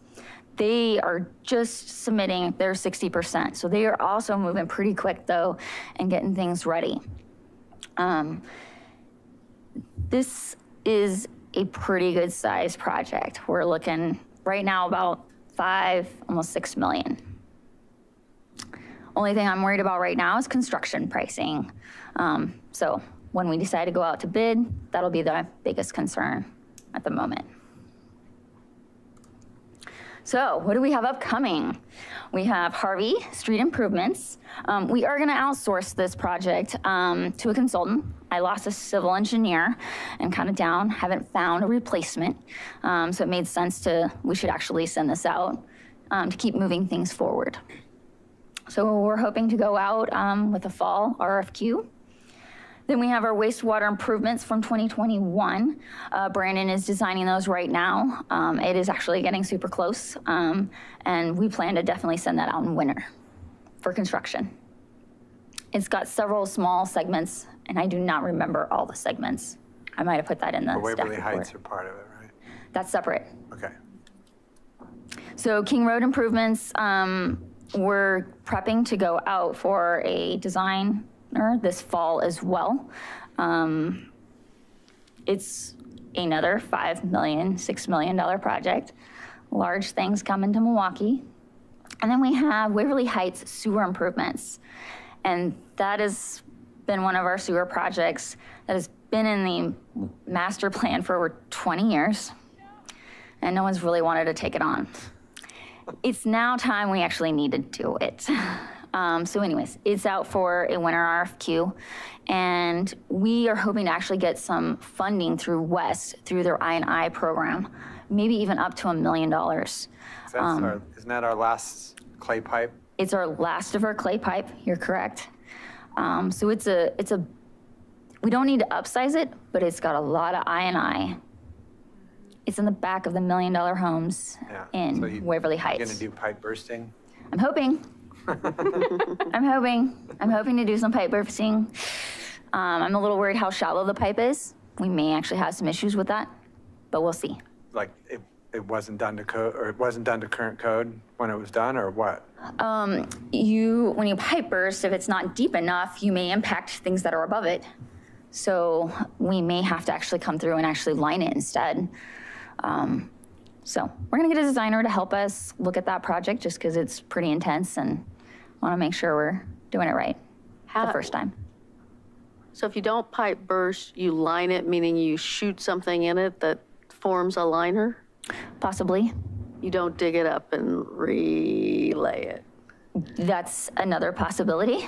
That's the one she least wants to And how do you That's the more expensive option. How do you determine, how do you test out whether pipe bursting is going to work? I'll get a, I'll get an actual, um, s- you know, someone that has a lot of experience and let them look at it and see if they can, if this, if they're like, no, this is too much risk, we Yeah. can't do that. I'll get a geotech on board too, to really look at the soils and kind of what, what options do we have? And will Um, it necessarily be the same through the whole length of the pro- project? Or it might be some segments I think we're gonna have, a- burst in some segments you can't, or? I think we're gonna have a little combination of things. Yeah. As far as that goes, and that's why I really want another set of eyes looking at it to say, hey, this is this is what we got. How can we actually fit this in and do it efficiently and cost effectively? Yeah. So, with that, we do have some concerns. Um, our bond is pretty much done. Um, we've got um, with everything that we've done and what's right now been obligated, about $600,000 left over. So, um, the other issue that we are starting to look at is construction costs. We're hearing it, it's increasing. So it's just something to be aware of. Um, I've worked really hard to definitely put out packages at good times, give contractors good amount of time to do the work, which has helped us significantly keep those costs down. So we'll see how that, you know, continues. I obviously, we're not in this like super rush that we have to have things done tomorrow, but we could still see some increases. We could still see that come. Is it, is it materials and supply chain, or is it Labor. labor? Do we- It's everything. All of the above? It's all of the above. Pipe is definitely going up. Um, um, it's also harder to get, but if I have some good links in there, they may be able to keep the price down. Um, but I have heard ductile iron's gone up, PVC has gone up. Um, and just in general, like costs have gone up. Um, so that's it, it, you know, that's one of my worry spots because we got a lot of work and a lot of things to do. So I'm putting it out there, and we're just so you're aware Yeah. that it could hit. So as far as the bond goes, um, right now I'm sitting at a point where I feel I can get Ardenwald North when it's ready to go out for construction, that I could actually award that and move it forward. Um, with everything that's obligated, um, I still have a little bit of fluff in there that I'm, that I think we might have some savings. 42nd, 43rd is looking great. I think there's gonna be some money off of there are gonna be able to hand towards it. What comes in next is we're gonna have Washington area improvements fully designed, and that's part of the obligation, so that's not a problem. But I'm not gonna have enough funds to actually go out for construction when it's ready. So that's my next project that I would want to go because if we have a full design, we don't want that to sit on the shelf too long if we don't have to, um, as far as that goes.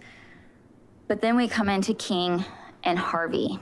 And like right now, I may have to delay the RFP if we're not gonna bond. So really, that's kind of the next step is, you know, when are we gonna bond? Because it basically, there's no point of me going out for an RFQ if I'm delayed six, a year, I don't know how long.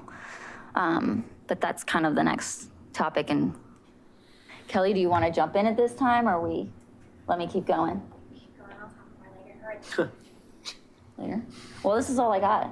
Was I supposed to talk He's about like, more? I need money, go. I don't know, do you want to talk more? I mean, I was about to ask a question that was going to summon you up here anyway, Kelly. Okay. So That's what I love. the question was just going to be, and you can already anticipate it, it it seems like King Road is big enough and expensive enough that federalizing it is, is maybe on the table. Is there any, anything that you've seen come out of the bipartisan infrastructure bill in terms of dollars that might be able to go toward that, or any rumblings at the state level? Um, so King is definitely a good candidate for grants. We've talked about it more on safe routes again to try to go back similar to kind of what we did a scale more like, so state funds, not federal funds.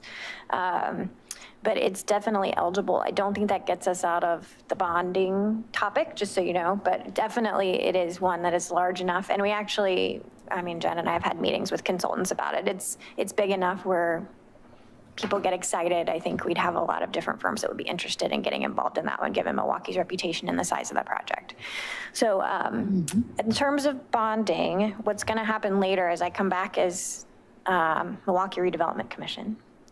And I was going to talk more kind of in the broader context there about as much as I can tell you today about rates and timing and things like that, and just get a sense of you there. But just, I think the main thing I need for you to know in this part of the agenda is the two things are combined. So if we're going to bond, we would do the infrastructure for our transportation-related funds, SAFE, SSMP, gas tax. And we would also do the urban renewal infrastructure projects at the same time. So I think the thing to think about um, for the purposes of this conversation is you won't know a lot tonight, and other than interest rates are going up.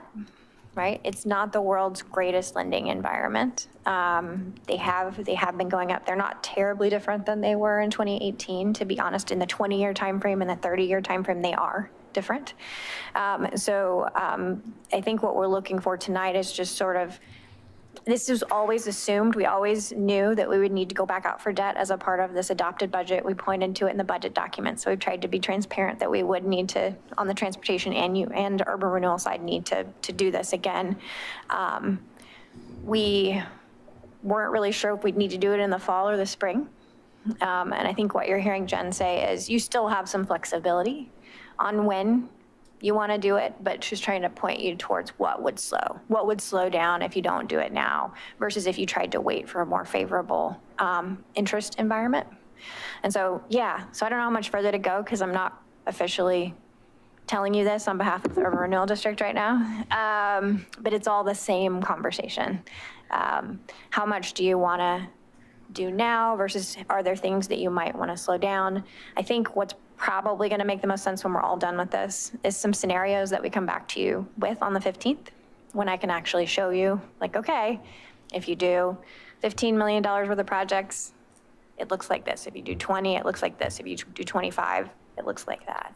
And is this, what's our comfort level? Which way do you want to go with the, and then if you're comfortable with that, then we would do that by the end of this year. You'd vote on it, you'd tell us what to do, we'd enter into the agreement, and we'd move forward.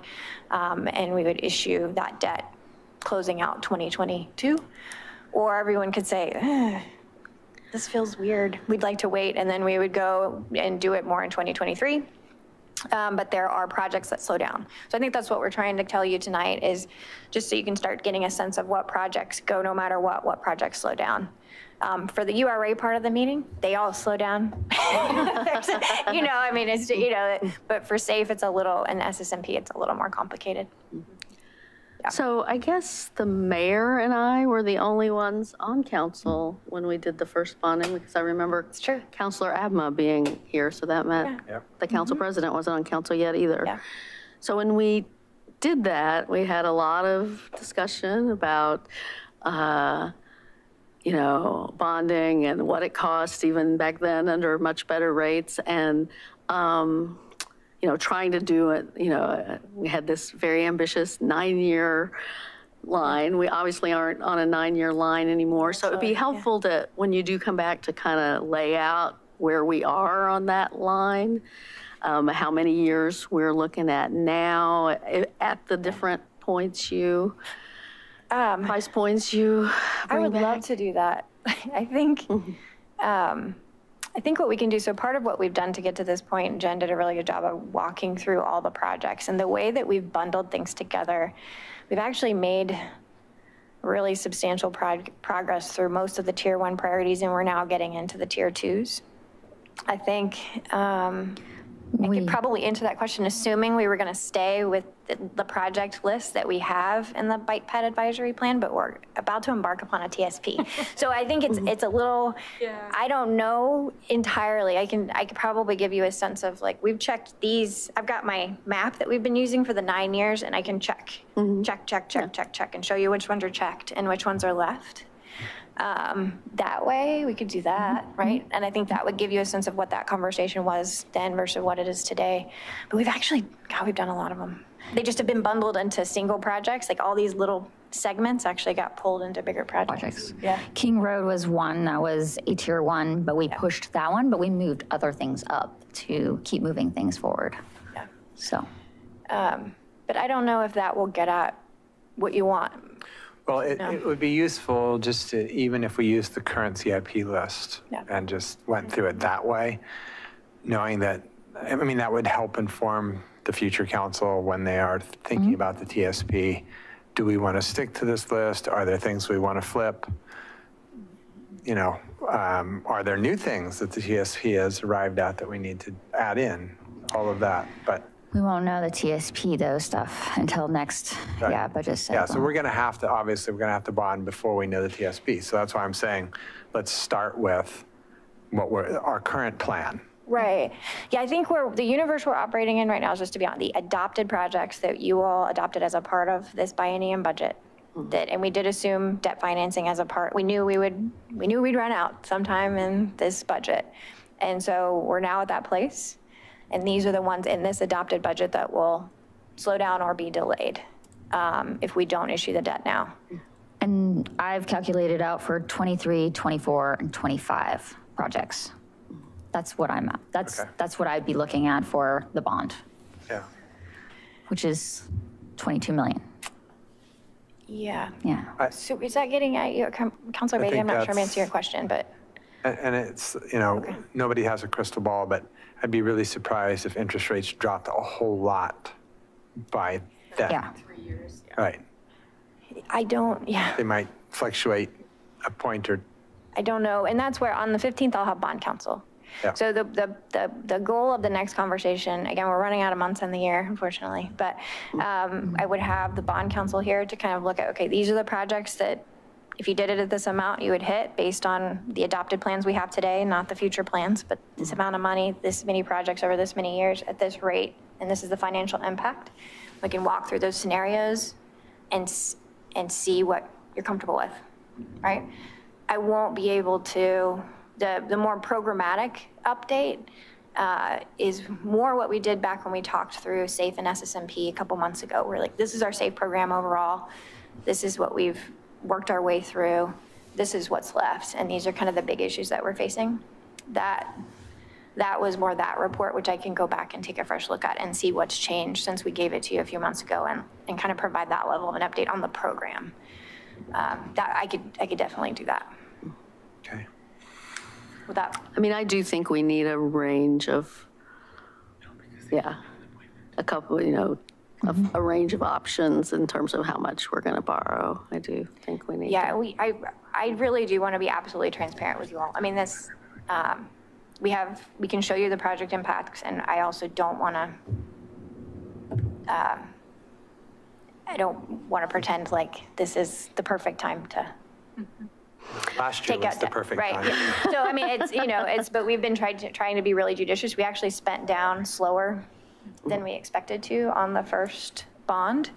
Um, And I think for a lot of good reasons, to be honest, um, we found, we applied for grant money, we've found other sources of money. We've done things that I think have been part of what we were asked to do, which was, don't take out debt, you don't need to.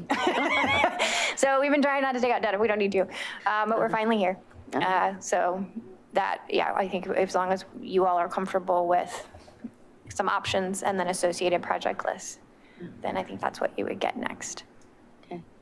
I also just want to make sure everyone knows that's pretty much Kelly's whole presentation today in the urban renewal, um, which is totally fine, but I think we're probably going to be pretty short at the end of the meeting, so Okay. we've got to do an appointment, and she'll say like two minutes, but I think that's about it. Yeah, I just want you to see what those projects are over there, so you can be thinking that through as well. Yeah. Yeah. Good. Cool. Okay, Thank you.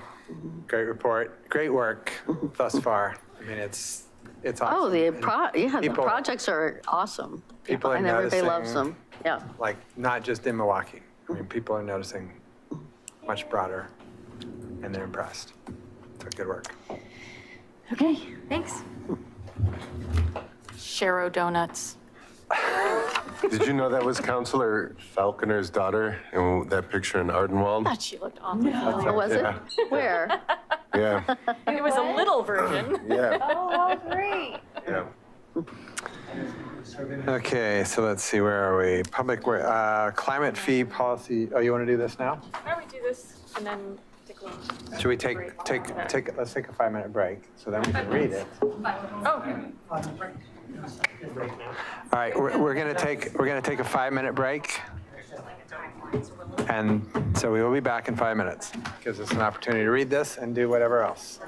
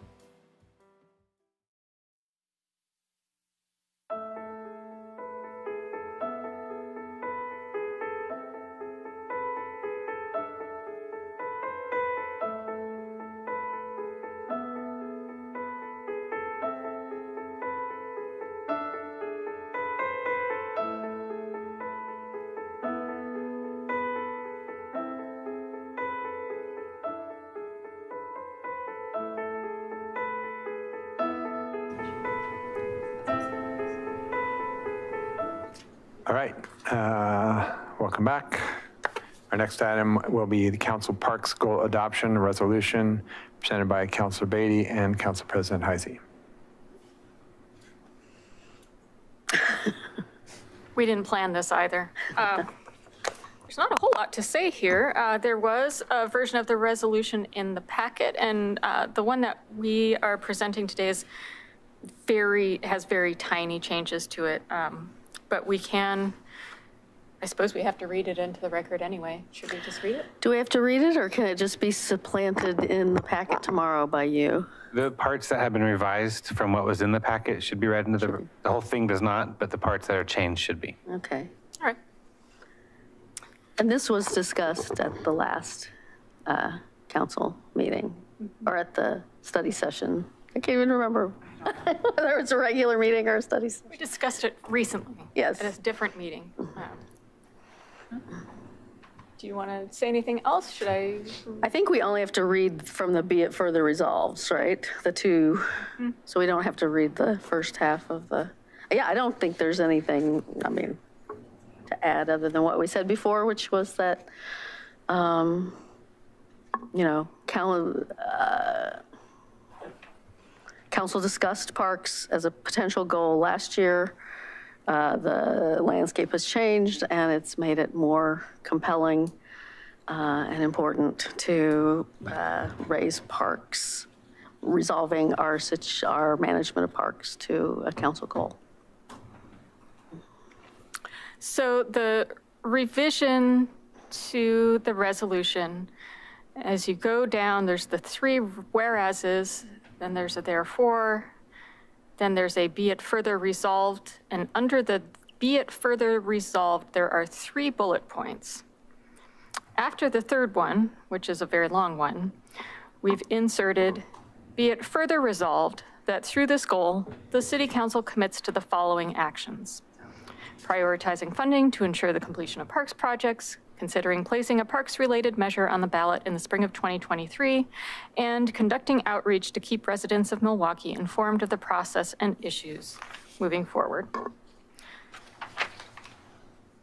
That was the change, was primarily just the insertion of that, um, be it further resolved, clarifying that those are actions that the city council will be doing, not just the city. And this follows the format of our equity, justice, and inclusion goal, as we sort of had a similar breakout of responsibilities.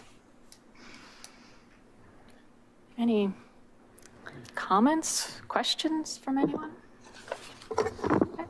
When, um, if, when, if motion is made, just add as amended to the end of what's in the script. Okay? If there's, Are you gonna, are you moving What, what did you want me to add at the end of it? as amended? As amended, okay. I move to approve the resolution adopting council goals for the remainder of 2022 and the start of 2023 as amended. I'll second. It has been moved and seconded to approve the resolution adopting council goals for the remainder of 2022 and the start of 2023. Is there any further discussion? I think it would be maybe worthwhile for people that were not watching whichever meeting that was that we discussed this at before to help them understand why mid-cycle we're, I mean, a little more, you kind of did, but why mid-cycle we're adding a council goal. Okay, we can do that. I mean, uh, it- we explained that in the, the resolution portion that we didn't read, but effectively, we were pointing to the part where um, we've been having extensive discussions over the past several months about our relationship with North Clackamas Parks and Recreation District and the challenges we're having in getting our parks built in Milwaukie and looking at the um, influx of new units. We have 1,500 new units of housing coming, which is terrific. We sorely need housing in the region and the country, frankly. Um, and so we welcome that development, but it does mean that we need to also be able to provide the services for those folks. The majority of those units are going to be apartments, and um, it is uh, it's going to be really hard for us to ensure that we are getting the parks services we need in proximity to the places where we need them um, if we aren't the people who are controlling our parks. So that's, that's kind of a nutshell summary. And I, I would say to the extent people want, feel like they need more background than that, and there is a lot of background. There's an extensive list of, of reasons that have gone into this. Um, Tune into your, uh, participate in your neighborhood district association meeting in October. Some of us will be there at all, someone will be at all of the neighborhood district associations to talk about this. There will be other public meeting opportunities to talk about this. There will be a website. There will be some informational cards at the farmer's market, at the city's booth at the farmer's market. So just tune in in October uh, where there will be sort of more information that'll maybe be more coherent than we're being tonight. Yeah, more to follow, a lot more to follow. And I I would, I guess, be slightly more pointed about the reason, you know, North Clackamas Parks District is run by the county commissioners. And it's been a fraught relationship at best at times. And um,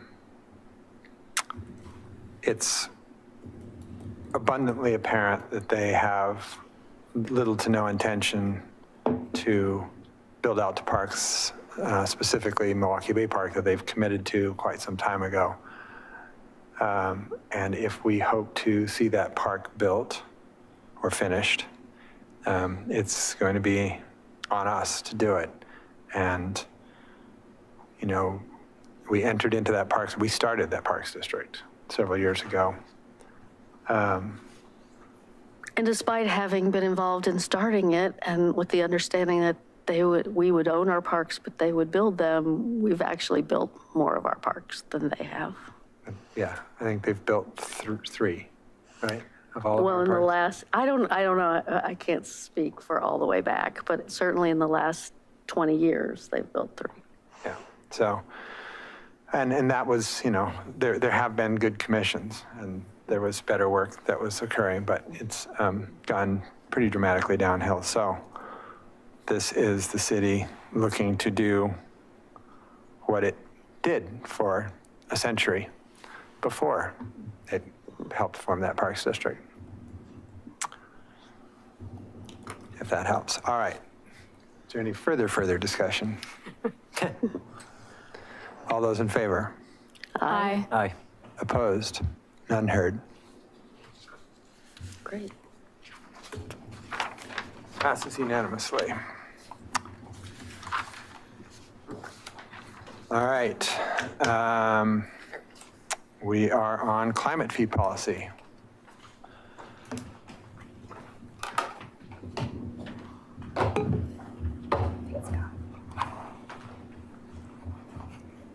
Hi there.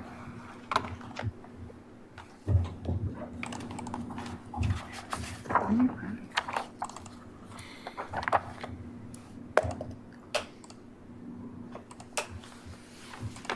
can do this much faster than I can. Thank you.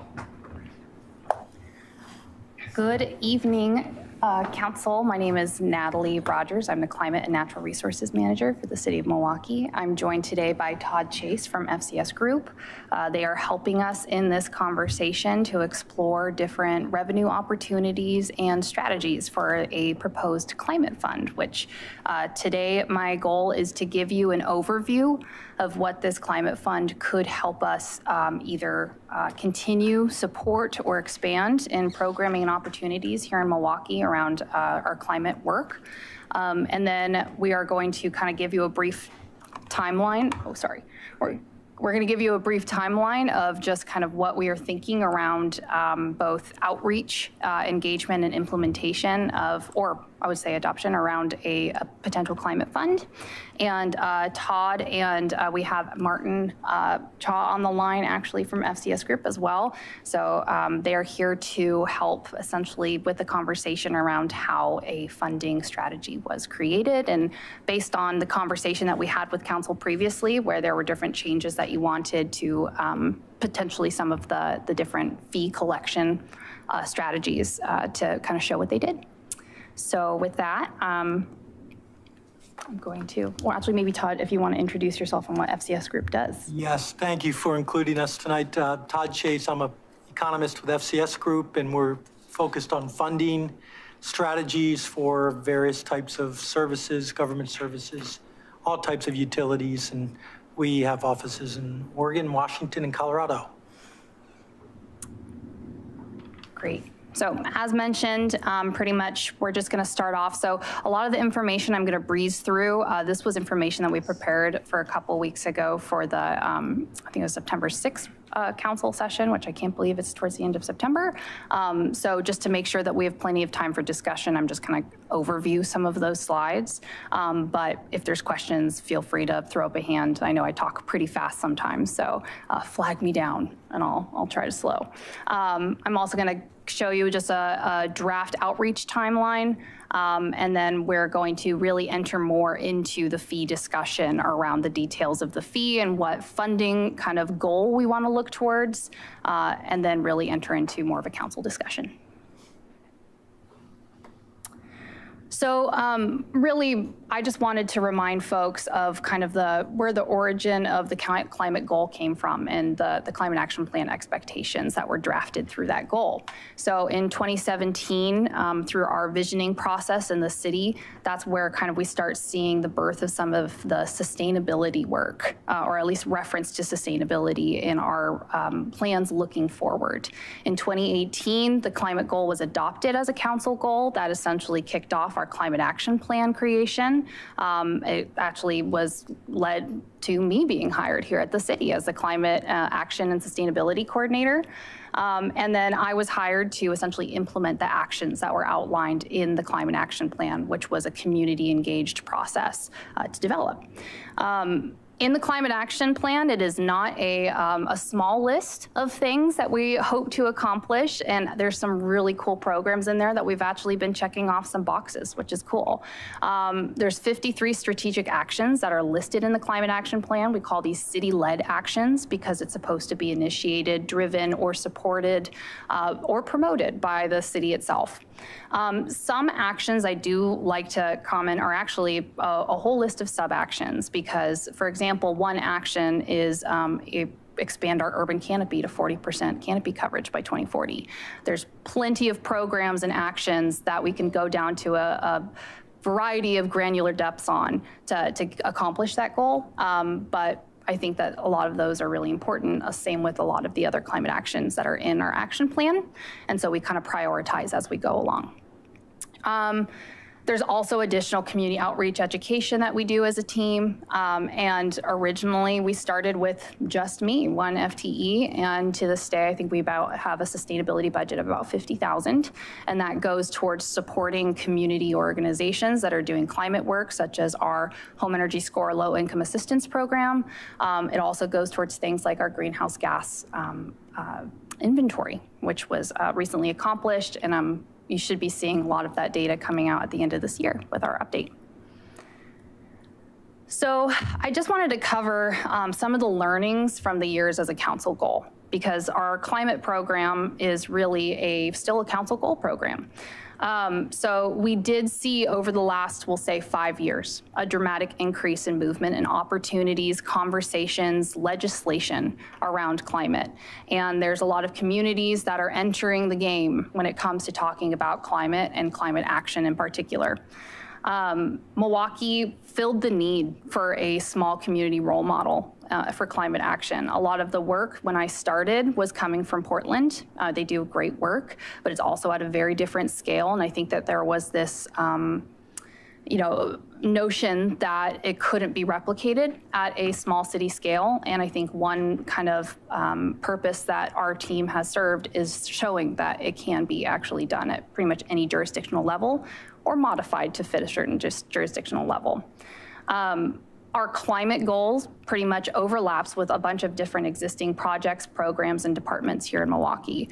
A lot of the work that we're doing around transportation for our SAFE program is related to alternative transportation, which, as we all know, is an emissions reductor because you actually can walk, you can bike.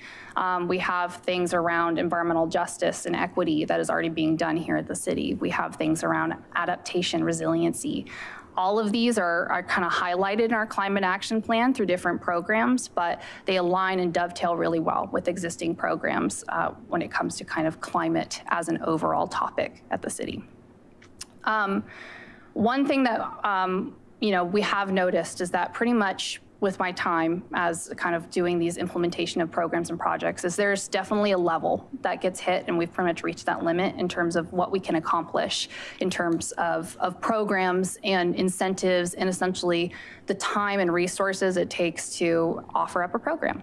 And that's fine. Uh, it's just kind of knowing that capacity. And I know Anne Peter and pretty much all the leadership here in Milwaukie works really hard just to manage that capacity to make sure that we're accomplishing what we can without overextending ourselves. So knowing that limit is good. And I think right now, just in the work that we're doing, we've probably hit that limit with our current expectations around budget and how we kind of support ourselves.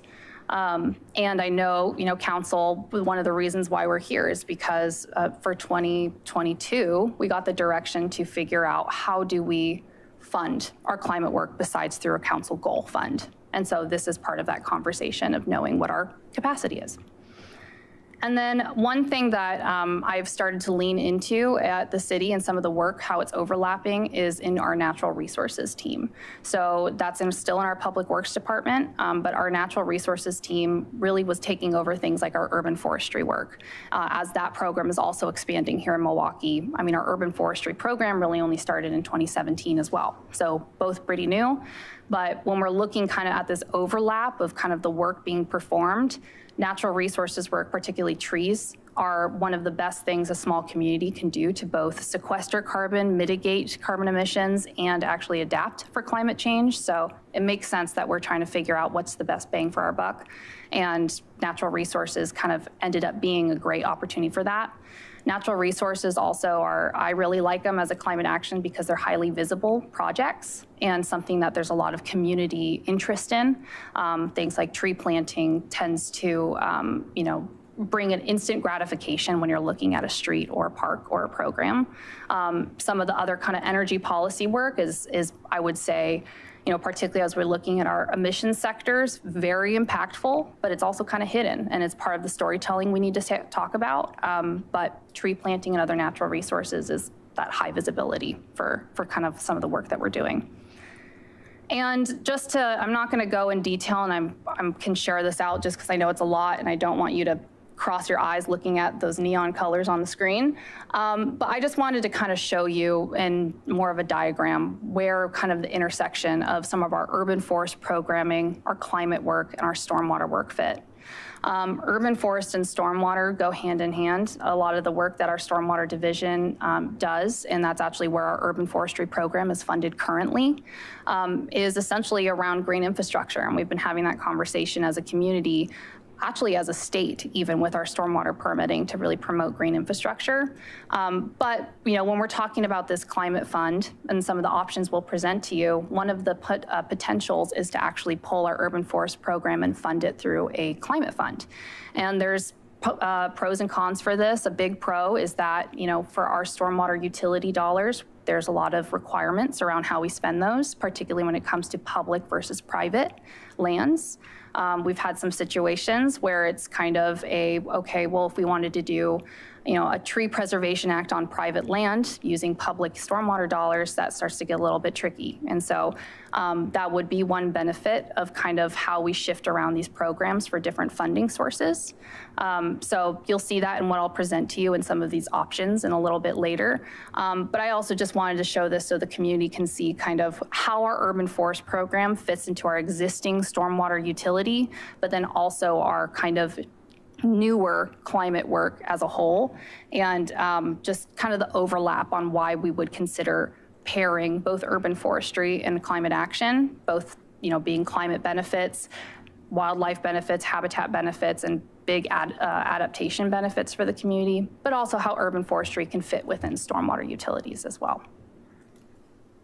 Are there any questions on that in particular before I kind of move on? I just want to make sure we have lots of time to cover the numbers, which is the fun part. Once again, a whole lot of words. Don't worry about reading them. I kind of tried to, I whipped up a little graphic on the right there just so it looks a little bit prettier and less, um, you know, brain intensive at eight o'clock. So um, what could be funded by a climate fund? right? So there's different options that we'll be presenting to you. Um, I kind of call them business as usual, a small boost, and a medium boost. That's kind of the different options.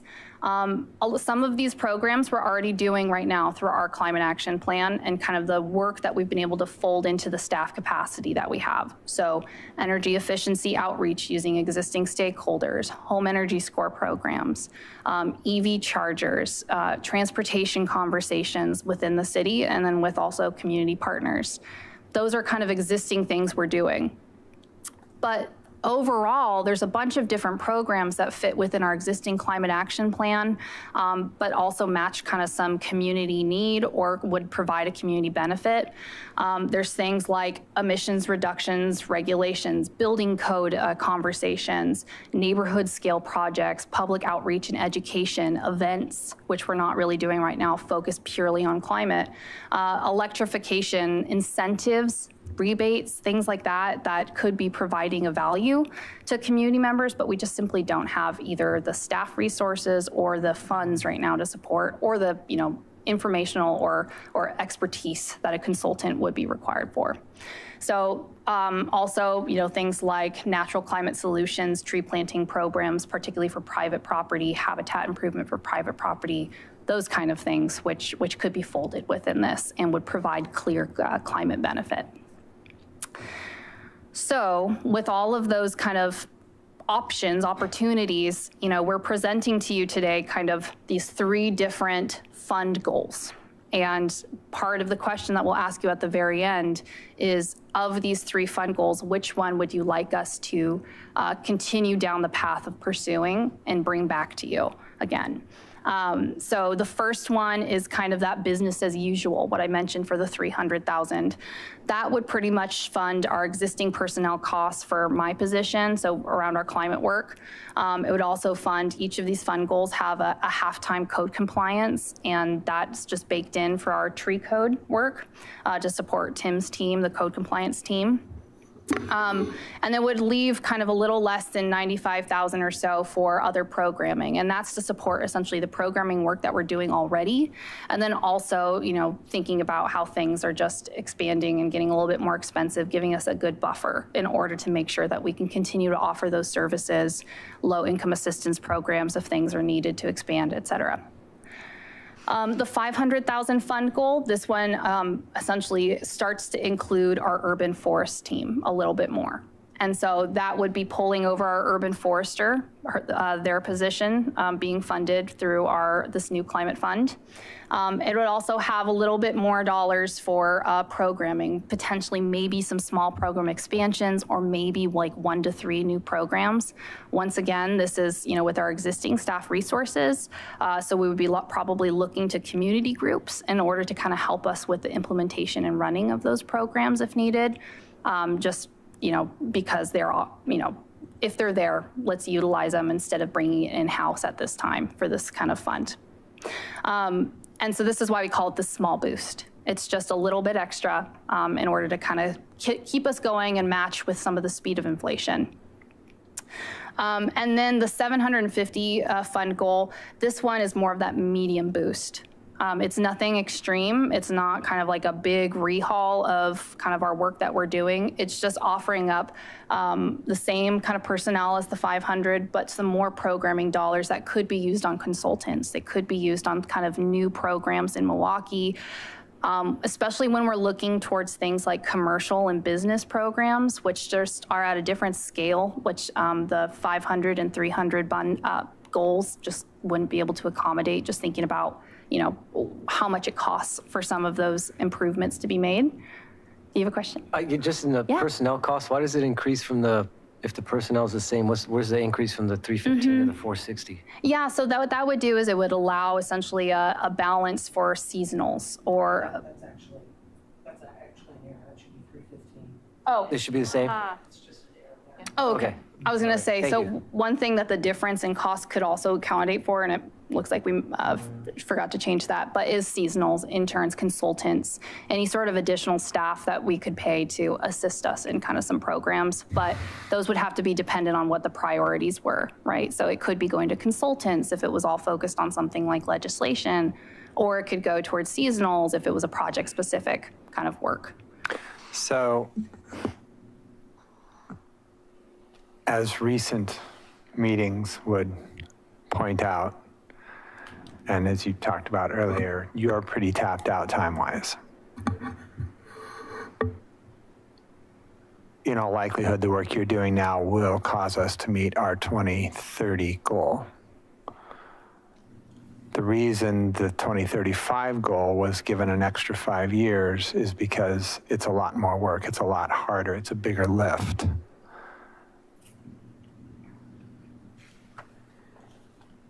And it's going to take longer. Is there room in the 750K budget to bring on the additional staff that's going to be required, not only to hit the 2035 goal, which, as hard as that sounds, the 2040 goal is even harder. Being completely carbon neutral by 2040. That's a giant lift.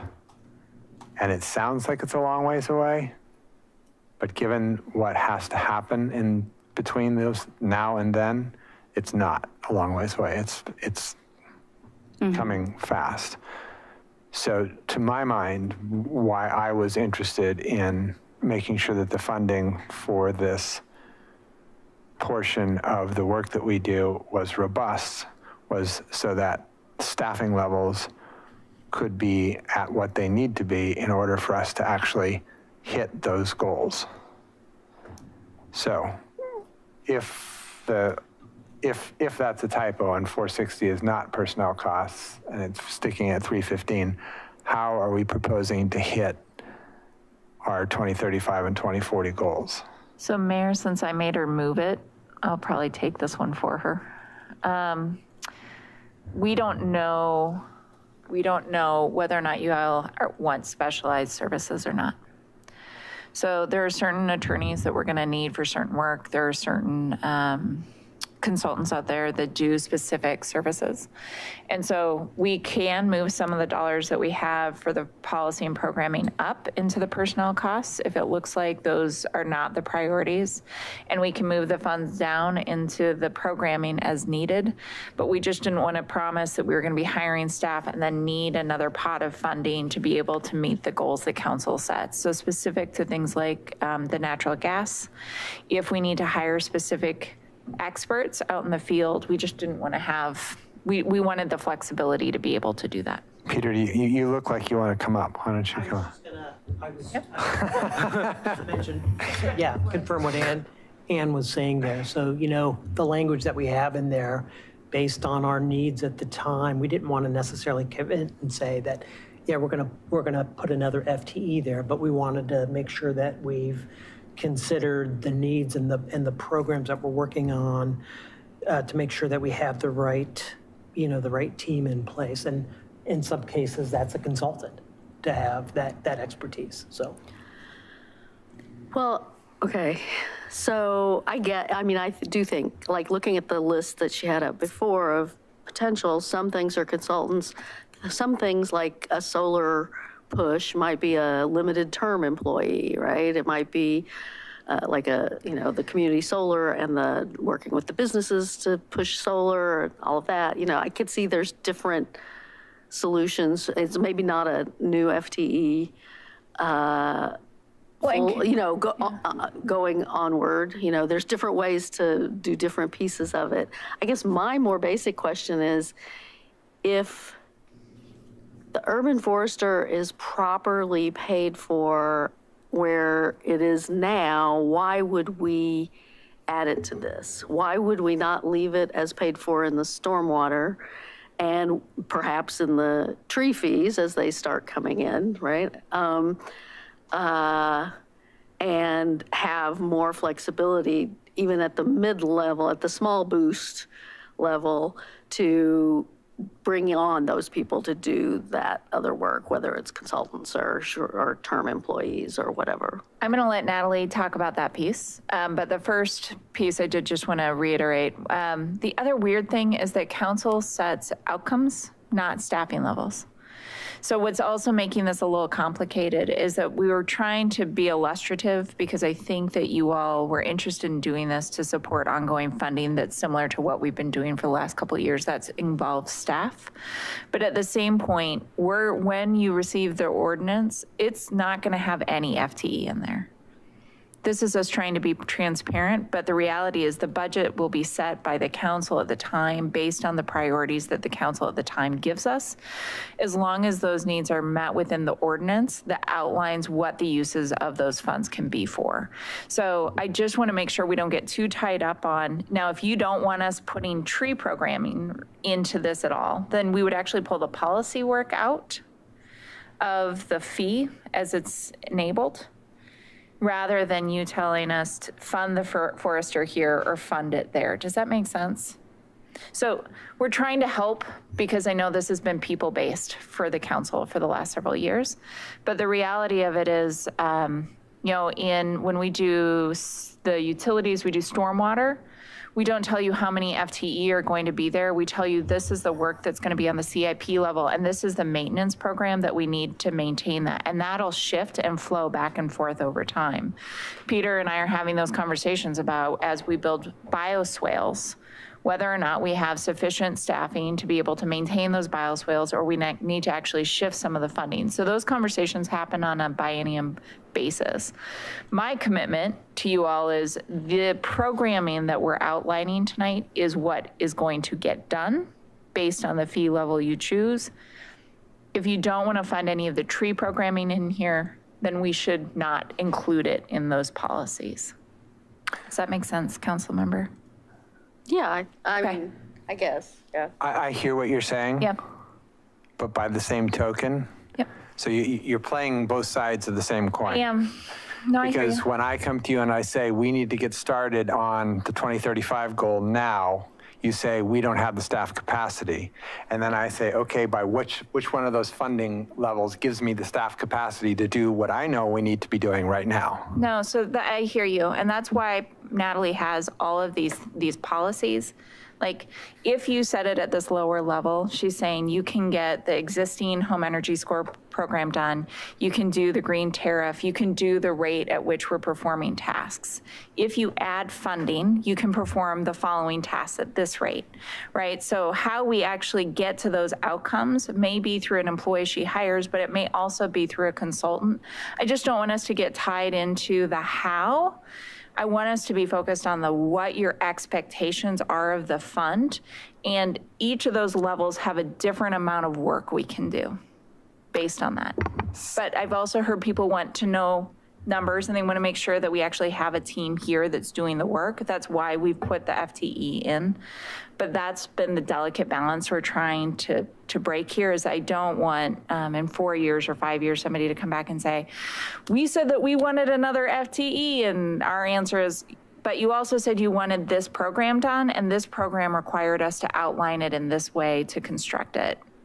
It's actually, it's the budget process we all go through every year. But it's not helpful in this conversation because I think the way you and I have been talking about this for the last couple of years is more about people. So I just wanted to be, to make sure it's clear that what you're choosing in the 300, 500, 750 is how much programming you're paying for. And then Natalie and Peter and I will sit down and we'll figure out how we put those tools together to get that there. If what Councilor Batey is saying is, I don't really want to put the tree programming in, I'd rather make sure we have more money for the sustainability climate services, we would remove the tree component. We take some of the other things from the 750 and we'd slide them into the 500 slot and we wouldn't have tree programming in your ordinance. I mean, I guess I feel like the tree, the for- urban forester we absolutely need, but if we're appropriately paying for her out of stormwater, it seems to me like she's really, you know, some stormwater, some actually streets probably, some, you know, I mean, she- she's serving, you know, different, mm-hmm. she could properly be funded from different pools. And I wouldn't want to say, let's not do any tree work under this necessarily, but I just don't see why we would move her, her FTE to be funded here versus having that flexibility for other work. Well, and part of what I also asked Peter to do, and he's working on it, is to come back with an update to the stormwater ordinance so that we're transparent about how we're funding things out of the stormwater ordinance as well. So right now, it says, you know, MS4 permit and things like that. It doesn't say how trees meet us there. So he's also working on whether or not there needs to be changes in that ordinance to, to help clarify how all these fund balances are used. Um, And one thing I do want to highlight is, you know, as I mentioned, there's some challenges when it comes to kind of when we're thinking about climate programming uh, involving trees in general, and then stormwater programming involving trees. So um, there's a program, if I were to come up with it off the top of my head, um, an education program, program helping folks learn how to prune trees on their private property and maintain trees on their private property.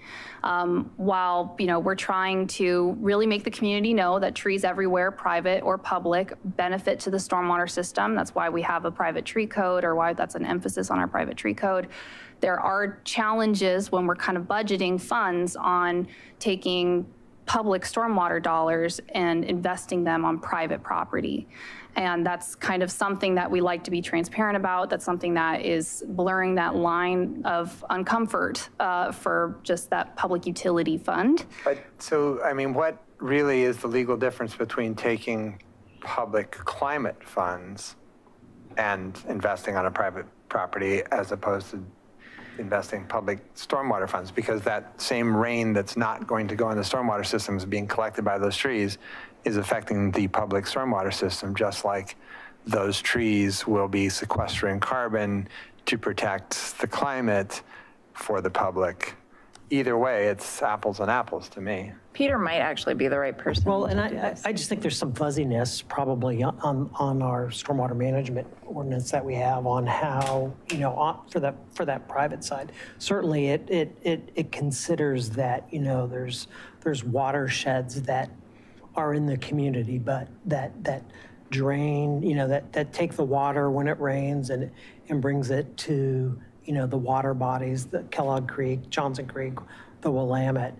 And, but it's not really, it's sort of fuzzy though in terms of the expenditures of those utility dollars on, on private infrastructure and, or on private trees, on private property. So, I mean, we certainly do enforcement for, in stormwater management work to make sure that, you know, properties are, are maintaining, or are are following our rules in terms of stormwater and treating and holding water on their, on their property. But, you know, the actual, when, when we're looking at the, the piece of, of of regu, of, not, of private trees and investing on private trees onto properties, there's, it's, it's fuzzy there, right?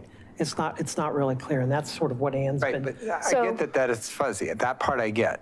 Yeah. But why is it less fuzzy if it's climate out of, coming out of Well, the climate because- fund than if it's coming out of the stormwater Well, fund? with our, with this climate, with the climate fund, there will be a new ordinance that sort of spells out that. That says it's on that- private that- property. So what it's we- just the fact that we didn't in our stormwater thing spell out that, that trees are important to stormwater management and therefore we will support trees To some- wherever they are. Yeah, I mean, I, I think to some extent, yeah.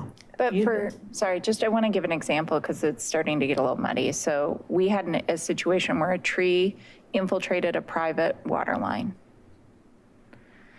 A tree we planted? No. Oh, okay. But it was on the border of, so part of it was on our public right-of-way, part of it was on private property. The issue becomes, we're not actually supposed to work on the other side of the line on the water line. It's supposed to be a plumber, and it's supposed to be the homeowner's responsibility. What, how, how do we invest in that? And so part of this clarity is when do, when can we use our funds to help benefit a private property owner when most of the time we require them to do the replacement of the pipe? And those things are in ordinance. So we're trying to be, I, this is actually a great conversation. I think Peter and Natalie and I've tried to have it, and it hasn't been as clear even as this one tonight. We're trying to make sure we're just super transparent of when we're investing in private spaces and when we're not. And in the climate fee, what I have heard from you all is private or public, you don't care as long as we are being, we're getting to our climate goals for the region. Mm-hmm. That's not the case in our other utilities. And so we're, what I think I hear Natalie saying um, is that urban forester is doing both. Sometimes they're on private, sometimes they're on public lands. Sometimes we're working on an ordinance that's about private lands. Sometimes we're working on an ordinance about public lands. Sometimes we're working on an industrial parcel. Sometimes, so some of the money could stay there. But it would be disingenuous to say 100% should come out of stormwater when stormwater says we're on public property. That, and that's all fair, and I get it. I- But I think you can create something new. That's what I'm saying with the climate fee, is you could create something that says, if you want this to be 100% on private, public, doesn't matter, anywhere inside our boundaries, it can be spent. So, so, so my red flag Yeah. with that, and I don't know if this was Lisa's red flag, was, okay, here we are, we- we're creating this new fund for a very specific purpose. And we're now going to backfill another program, which arguably, we have been more or less borrowing from to do some of this work now. So I get it. But what it goes back to for me is the question that I asked, right? We have a very, very clear climate action plan. Yeah. We have three very clear and not easy goals. Totally. Which funding level gets us there? Well, I think. Because you're telling me today, Yeah. 250 does not get us there. Um, I think I'm telling you today that 250 gets you there on the path that we're going, knowing that we're probably going to get some federal money that's coming out, just because the federal package is dramatically different. The, the, ped- pu- the public scene. the This year it scene is. different. Yeah, totally. And we're gonna, we've got some opportunities with the state that's also going to help us with some funding. So this isn't us saying that we have a plan today that I can guarantee actually you're going to hit the goals with any of those amounts. I can't guarantee that. Do you want to go at the current rate? Do you want to go at a, as she's calling it, a small boost rate? Do you want to go at a medium boost rate? Um, we can't give you guarantees out of this, unfortunately. I wish we could, but I think Natalie and Peter and I would have hoped we were further along on the green tariff today than we are. You both. But that's, but that's typical of everything we do. There's always going to be like a, oh, we thought we'd be here on this, that went faster than we expected. And so, yeah. And we'll be, I mean, I think a portion of this and the reason why we're, we're trying to be generally flexible with even things like the, you know, policy and programming dollars is it's very dependent on what program opportunities exist at the time, what policy kind of priorities exist uh, for, for council. So, I mean, even if we bake money into a certain program, I, you know, that program in five years' time could be kind of dissolved and a new one could form. Um, So I think it's, you know, as, as Ann mentioned, I think this is pretty illustrative and even like me throwing out, you know, one to three small programs, I can't tell you how many you can fund for that pot until I know kind of what type of program you want. In which case we can see if, what's the most efficient way for us to roll it out. Sometimes it is baking it within city kind of operations and having us be the, the leaders in it. Sometimes it's partnering with an existing organization that's doing it. Um, But I think the inclusion of urban forest on here was really just kind of trying to um, fill kind of a conversation that we've been having around challenges for funding programs that lean towards the private property, even covering things like uh, habitat improvements on private property, which kind of are fuzzy around who or what balance should be paying for it because it's private. Well, and, and I would add too, I, I, I do think it's important to include funding, additional funding for our urban forest program. You know, we are, we have an urban forester. It's evolved over since 2017. I mean, that position started off as basically a landscape technician, and we evolved it to become an urban forest, urban forester. We adopted new public tree code and new residential private tree code. And, you know, the urban forester is focusing a lot of, a lot of her time, frankly, on, on that work. But to do some of the things that we need to do to achieve our 40% canopy goal includes funding more planting programs, more outreach and education programs. So, you know, those are dollars that we need to use to have available to go out and do that. You know, we need the, we need those resources to do that. And certainly we could, you know, there, there is a pot of money perhaps there in the stormwater fund to do some of those things. And we have done that in the past to some extent, but that's limited. You know, we want it, we have a lot of infrastructure needs, right? Those are competing, competing needs, right? We're going to see more, more rainfall in the winter, more intense changes in, in the weather, and we want to make sure that that infrastructure is sufficient to handle the changing climate. You know, one way to do that is also planting more trees, right? But this is a mechanism to do that, that we know that we have something that's at least a little, bit- a little bit more dedicated to that, right? We do, we, we did also establish a tree fund as part of our uh, tree code updates. You know, that's sort of supplementary in nature. You know, that's just basic permits and fines. That's not something that we can, you know, rely on to fund a, a large program. But it's, it's, it's dollars that are going there that we can use. I think as Courtney mentioned, I think at a study session update, we actually haven't received any type 2 permits yet. Or actually, we haven't approved any. The folks who kind of submitted a type 2, we talked to them in conversation on why they were moving the tree, and they actually didn't proceed with the permit.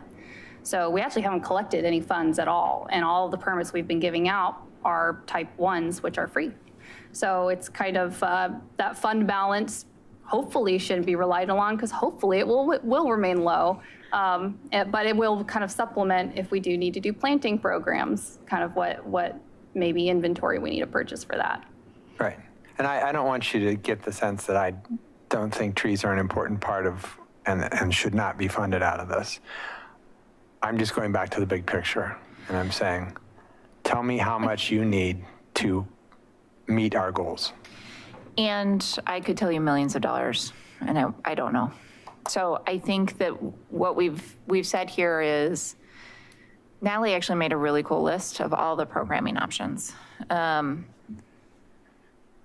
We can come back when we come, you know, if you guys generally say, this is, this is the type of things we want in there, and this is how much we're approving, then we can come back to you at the meeting when we adopt this and say, okay, these are the things that we believe you wanted funded in here, these are the things that are now in here. And if, and these are the things we took out, so you can see the things that we're not funding in here. If we're not putting trees in here, then the tree stuff is gonna sit on the other side of that, that table. So we can provide you all that. um, But I, I, I mean, I worked for Salt Lake City. We had five staff people doing sustainability work. It was an incredible group of humans. There's now six people doing that work, and they're not, they haven't, they haven't hit their goals, and I, I don't know when they're going to. I'm meeting with their director on Friday. So it's not me, I'm not trying to obfuscate here. I actually, I can't technically tell you what it's gonna take because we're still making these rules up as we go as to how much work and the type of work it's gonna take to hit them. I just know I have the right people on the team. Well, and some of them are state, you know, depend on what happens at the state level. And at the Fed. At the federal. I mean, and I, I I would add too, I, I, I- think with what we set out there on, on the, you know, the business as usual, the, the, the small boost and the medium boost, you know, like Ann said, you know, we could always use more money, but, you know, in the context of, of what we charge our, our residents and businesses for the, the services that we provide, you know, we're, we're sensitive to that. So, you know, we want, you know, it's hard for us to, as staff to come back and say, hey, give We us, want it give us all. $3 million to do this work because we, we know that that's going to impact, uh, that, that impacts a fee.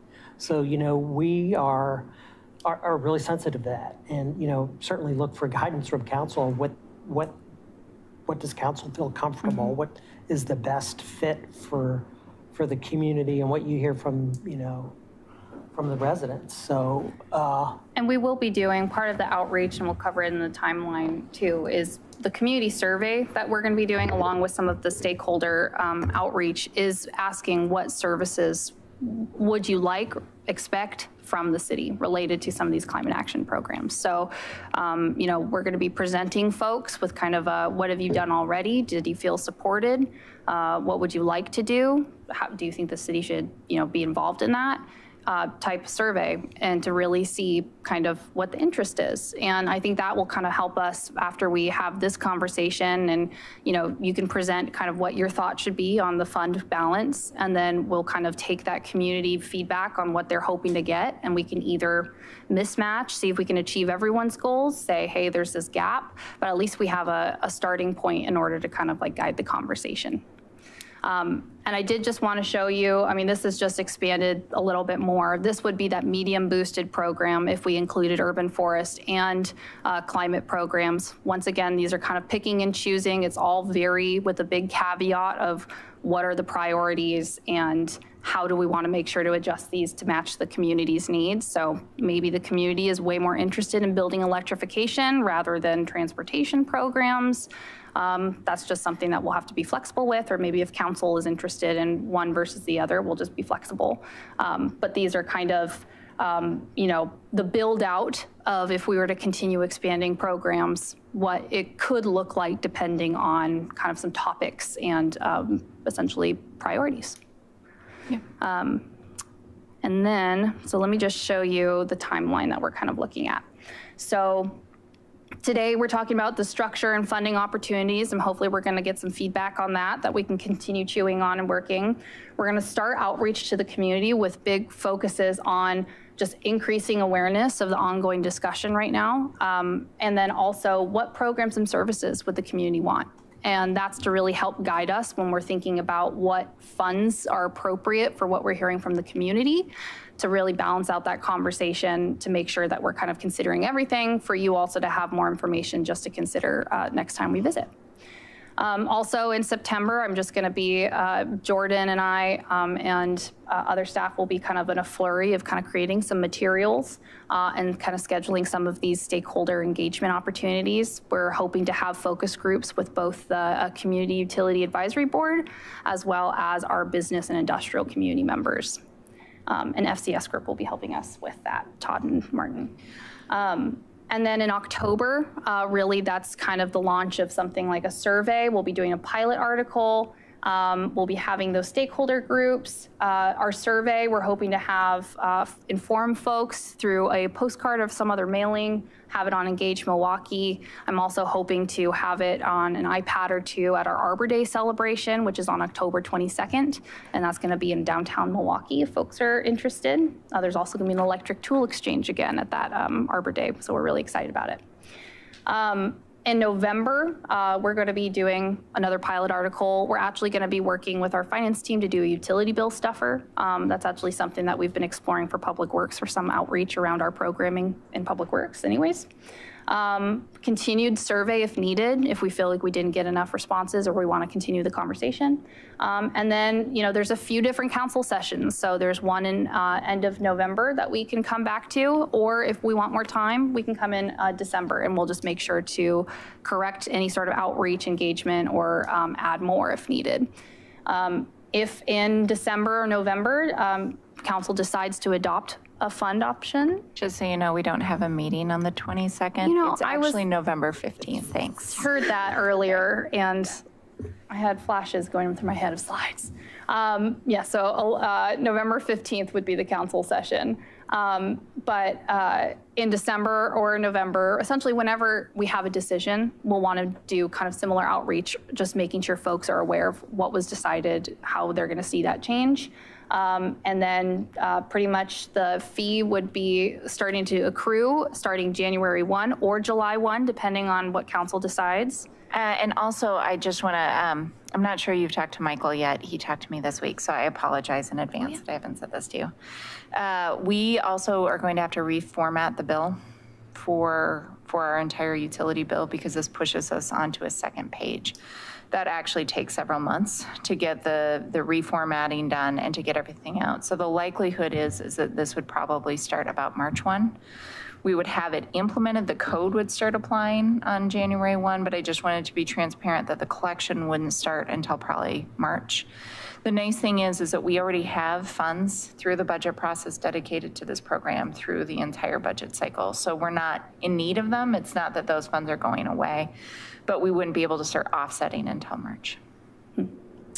And then um, one thing with the creation of a climate fund is we'll just want to make sure, and that's something that could be supported through those dollars, is staff time on reporting out. And that includes, um, you know, a work plan, including, um, you know, establishing progress metrics. If there are programs, if folks want essentially more formalized kind of quantitative numbers, that's definitely something that we can look at and just making sure that we're choosing the appropriate metrics to report out to either council, community, dashboards, et cetera. So more than that, I would be interested in a process where we go back to our climate action plan mm-hmm. and then we do backcasting. Some of the Is everybody that- familiar with the mm-hmm. concept of backcasting? Some of the, the technologies and pieces don't exist yet.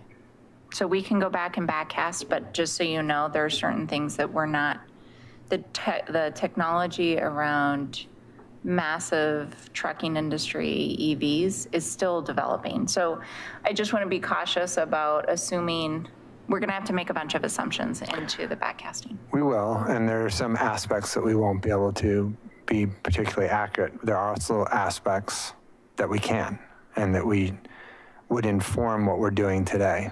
Okay, I- I've got to plead ignorance. I- I'm not familiar with back. Okay, so backcasting is basically saying, okay, uh, in 2035, uh, we are um, net zero building energy or fully electrified, or however you want to phrase that. So that means that by 2033, we have to be 80% there. By 2031, we have to, you know, that means because until we start sort of living into the reality of what it's going to take to get there, because it feels so far away, I fear that we will not be taking the actions that need to be taken as early as they need to be taken. So that's why I'm recommending backcasting because it's a really good process for level setting and for creating awareness around the difficulty of getting to where we're trying to go and the things that it's going to take to do it. Does the rest of the, uh, so a couple of things, we've got six meetings left Six meetings left, what? till you're off this council. Yes, I know that. I know, so we're, we're, we were already tight on time to be able to. I'm not asking for backcasting before I leave. But you are before you set the rate? Or are you not before you set the rate?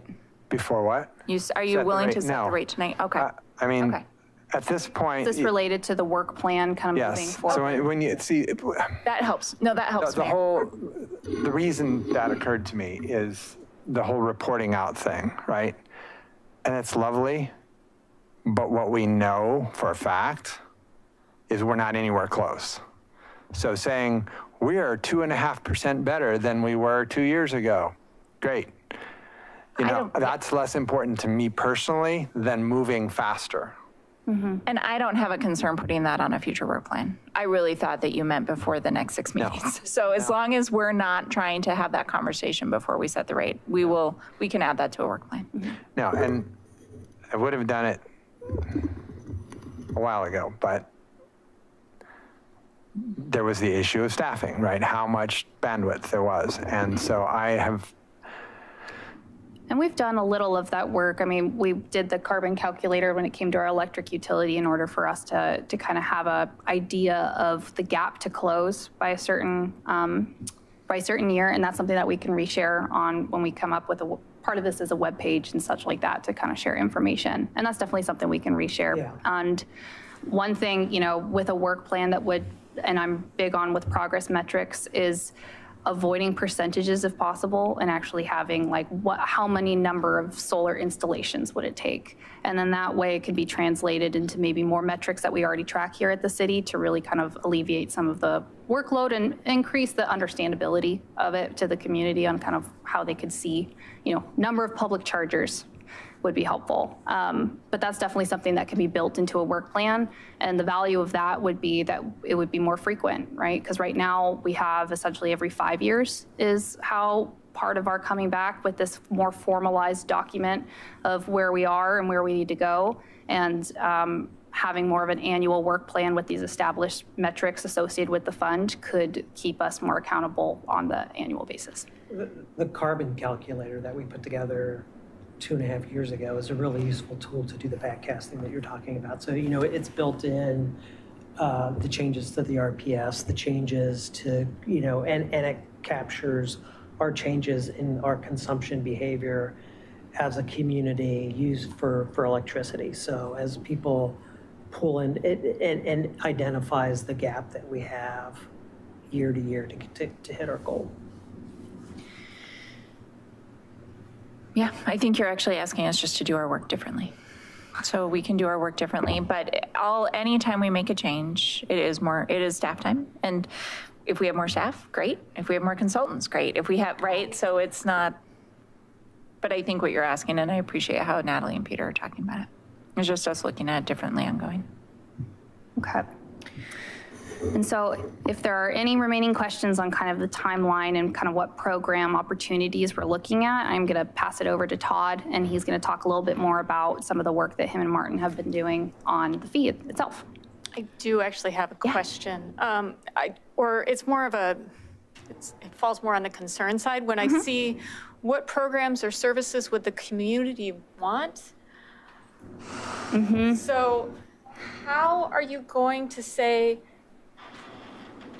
this delivers X amount of carbon reduction or something along those lines? What I'm trying to get at is what the public thinks they want is often the really touchy-feely stuff that doesn't actually result, result in emissions reductions. And I have a real problem with that because your time, the time everybody spends on this is valuable and what we're trying to get to is carbon emissions reductions, not everyone feeling good about how they're living their lives. So um, when we're building out a survey, a big thing that we're going to be doing is focusing on quantitative data collection, but then also we're going to be presenting options. And I think the options that we're selecting are ones that are tangible. They're kind of um, familiar to folks, things like incentives to install EV chargers or help purchase EVs in the community. Something like that, which offers some uh, generalities, so that way we can kind of build what programs help support that, but then at the same time, focus it on- like, we can pull away from it, electrified transportation is something that's of interest, or um, tree planting. And I think, I, I mean, I think we want to ask questions also that allow the public to develop a better understanding of what they're getting for paying this fee, right? Yeah, So it's hard, I mean, if we're, if we're talking about carbon reduction and, you know, keeping the temperature, that's, you know, that's not something that, that uh, translates well to, to the general public. So it's like, I'm paying this fee, what am I getting for it? So, you know, and those are, we're looking for feedback on how could we assist you to help us, help, help the community achieve the goals, right? Yeah, and, and I think, you know, I'm, and I'm sorry, I'm getting wordsmithy here. It's what happens when you keep the gremlins out after midnight. Um, But uh, I'm thinking about things like, you could offer the option of weatherization services for low-income residents, renter or owner, whatever, um, and then have some sort of information that says, this is one of the biggest bang for your buck kinds of investments we can make for climate change. Uh, So just like those little nuggets of information sprinkled in there, I think would be really helpful to contextualize it so that we don't just get, I don't know, switch everyone to, in the, in the entire city to compostable plates. I'm just oh. pulling that over here, but you know what I mean? Yeah. Like- Oh, yeah. And that's something we can do. I mean, the platforms we're looking at for a survey, like Engage Milwaukie, do allow us to kind of hyperlink out. We can off- offer supplemental information. Why are we looking at these types of programs? That's definitely stuff that we can provide context to. Is there any other questions? Great. Okay, so I'm going to pass it off to Todd then. So a couple quick observations. I you know, commend you have for having an excellent climate action plan and a great start, with Natalie and Peter. Uh, But as you know, uh, plans without dedicated sources of funding never get fully implemented. Um, It almost doesn't matter what kind of plan it is. But what we're talking about is a dedicated source of funding for implementation of this plan. And like any utility, usually you come back every three to five years and revisit your revenue and your revenue requirements and right-size it, change some of your administrative procedures, and recalibrate it. And so it's not going to be perfect coming out of the box, I'm sure, but it will be a good start. And what we intended to do with our, our role here was to try to find a nexus between climate impacts and, and charges, and different ways to charge it in a fairly efficient way so that you don't need to hire an FTE just for the billing purposes. Um, We looked at four basic types of charging this fee, whether it's the low model, medium, or mid-size. But uh, the first was a charge based on basically water usage and water accounts. And we can easily do that using your utility service fee customer charge database. Um, It gets to the use of water as one, as one type of um, action customers take, but it doesn't get to the other types of actions people take. Um, The other, uh, second one in, we considered charging it uh, as a business license fee. And that gets to the business customers, not the residential customers. And it would be based on your similar business license fee methodology, which takes into account full-time employment at locations in the city. So that would be, and take into account transportation by res- non-residential customers, uh, but it doesn't get into some of the other issues. Um, The third one over is based on transportation impacts. And that would uh, utilize your, your current transportation utility fee, stormwater utility fee model as well. Um, Fairly easy to implement. um, But again, it doesn't get into some of the other issues or the, and impacts. And then the one we landed on, our preferred option that we'd recommend is a charge that actually measures an estimated amount of greenhouse gas emissions, CO2 emissions for different customer types, residential and non-residential. And then we assess that based on transportation impacts through your stormwater utility charge. So it, the charge actually takes into account Just a correction, that would be through uh, the SSMP billing structure that we put together, not the stormwater. Okay, SSMP, I'm sorry. Um, We'll talk about that in a minute. But the charge actually takes into account uh, the business or customer type, whether it's industrial, service, residential, single-family, multifamily, uh, or retail. And the size in terms of square feet for heated, cooling, and- and, um, and heated floor area and cooled area, as well as their power consumption. And we pulled out the, um, the green energy consumption from their overall power usage when we did the allocation. So we really tried to get that zeroed in on uh, carbon emissions. And that was the one we recommend, and then we'll take it to the next slide. And here you can see what the rates would need to be at those three different funding points. Um, Beginning to realize we didn't put in the large boost We just have the, uh, Oh, you do, you have the, we just go, the business as usual will be the Right. blue, and then you have the small as Small. the uh, And the- red, and then the medium. Medium, but no large. But there we go. So the, uh, you can see at the 300,000 uh, per year level, we need a monthly charge for dwelling unit of about $1.28. And at the 750,000 level, we'd need $3.20 per single-family detached home. Um, The multifamily rate at the, one of the last council meetings, you instructed us to try to vary that, to take into account the fact that multifamily uh, households tend to be smaller, they tend to use a little less energy. um, And, and so we did have some factors to take that into account. So we reflected that here. And we also, in all these rates, assumed that there'd be no charge for rent-restricted uh, low-income housing. So we pulled that out and reallocated that, that revenue. Is there also an opt-out for low-income folks who aren't necessarily, there's a lot of people who don't have the luxury of having a rent-restricted apartment, but are equally low income. I, I think you, we did account for those low-income uh, assistance programs as well. Okay. Well, I, yeah, we have a number, and that's one of those calibration factors I mentioned that we can come back every year or two and recalibrate that if needed. But we do have a number based on uh, what we've, with the information we do have. And then the other fees for non-residential customers would be based on the Surface Streets Management Program billing units. And that would, that's driven by a number of factors, but it's basically equates to trips that that user would generate um, on an average daily basis, I believe. And so that's how it would uh, range again from services. uh, You can see the 24 cents per unit uh, at the 300,000 level. Um, Same level, 300,000 level, the retail would be 13 cents.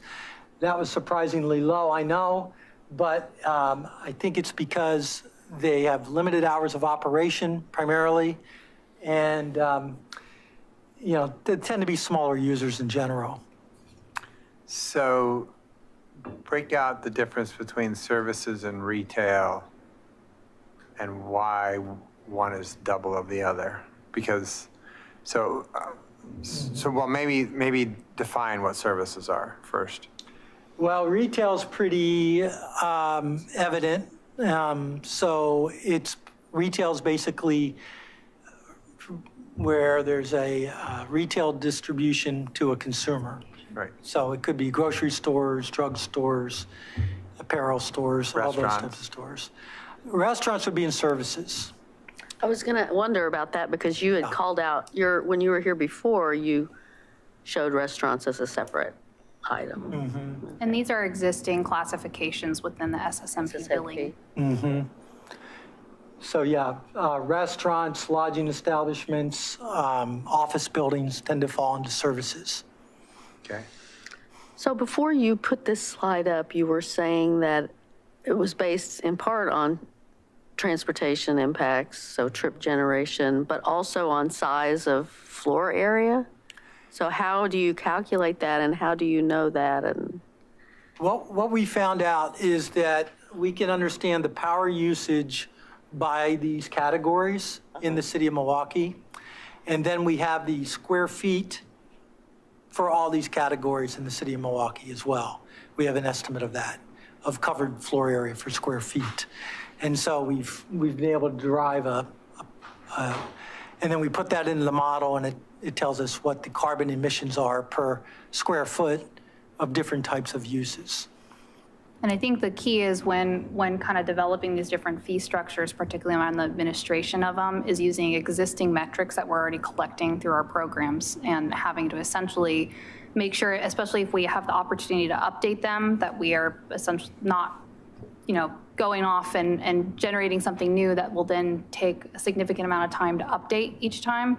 Um, you know, FCS Group, Martin and Todd and team have essentially used our existing program metrics that we collect for businesses, services, commercial, multifamily, residential, which can be, you know, a challenge for them, I'm sure, but it's, it will help us in the long run when it comes for, for staff time for updating these. So where would uh, a distribution center fall?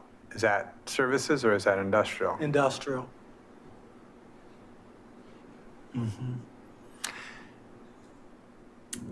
Yeah. And then, oh, are there any other questions on this? Okay.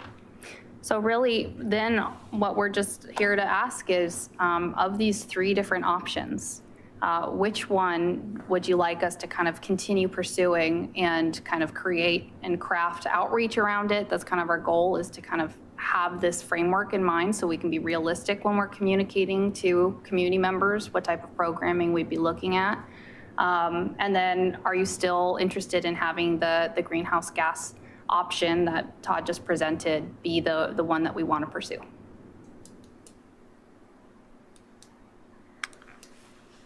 So for me, uh, yes to the second question and the medium boost to the first question. If you can't guarantee me that we hit our goals even at that, I want the best fighting chance that I can get to hit those goals. So before you had given us a calculation of like what the bill would be to the biggest user and that, um, you know, I I do think that's something that we might want to see, but um, I guess in my view, yes, I guess, answer the second question, yes. Um, I answer the first question that I think the small boost, if it only, if we were only were funding a smaller portion of, of urban forest work and not the whole position, um, could actually be a medium boost. I mean, could actually be substantially more than business as usual. Um, and so I think I, I'm concerned about the impact on, you know, both residential and business users. $2.28. What can you buy for $2.28? Well, I mean, I do think, yeah, I mean, I, I do think, I don't, go back and show the price, Sorry, three, 320. 320. Same question. You can't, you can't even buy a cup of coffee. Right, but we, I mean, we are, yeah, no, I mean, we, yeah, it is less, the, I mean, I do think the impact on the residential is not onerous. Um, I don't know that we have enough here to know what the impact is on the businesses, but I guess that's the point of the outreach. Um,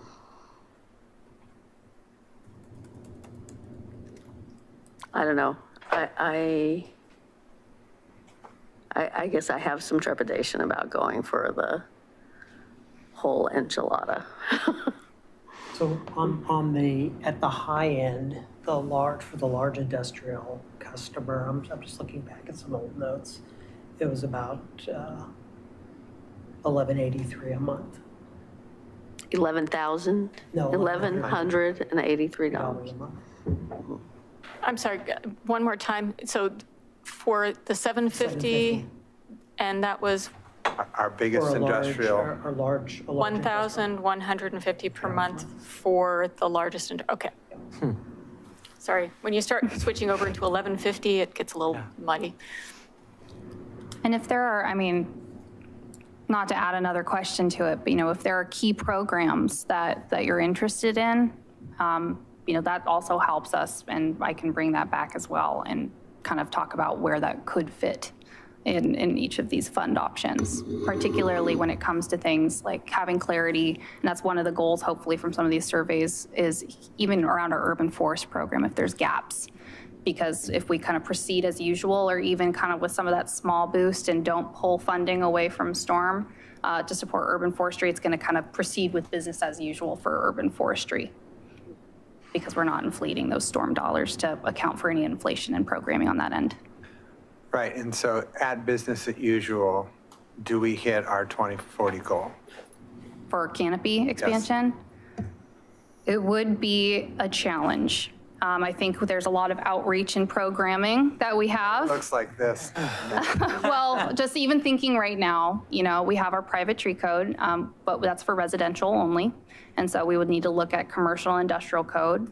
Um, there's also just private property plantings and kind of private property programs around maintenance and stuff like that, where, you know, we recognize there's barriers to trees and tree ownership. And right now, we are working at full speed, making sure that our public trees in particular are cared for. And even then, you know, we're, we're racing around. And so it's kind of a, we're doing a good job, and I don't want to minimize the work that we're doing, but it's also a, you know, a big canopy goal, and I think that we can get there. And uh, it just depends, that's also a, you know, willingness of the community question.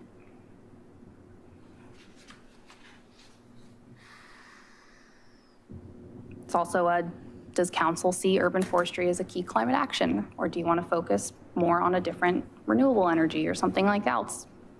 That's another one. So I know $1.28 doesn't sound like a lot to anyone, but um, I know that when our residents get their bill, they don't just look at $1.28. They look at what they're paying for their water. They look at the fees that the school is charging. They look at the NCPRD fees. They look at, you know, to them, it is all kind of the same thing. Um, and so I, I'm not comfortable saying that a dollar 28 doesn't matter, and I'm really not comfortable saying $3.20 doesn't matter um, to people who are already choosing between paying the rent or paying their electric bills. But we are, ta- we're having a low-income opt-out. Yes, and we also know that the participation rate in low-income programs is disproportionate to the need because people are ashamed to use them.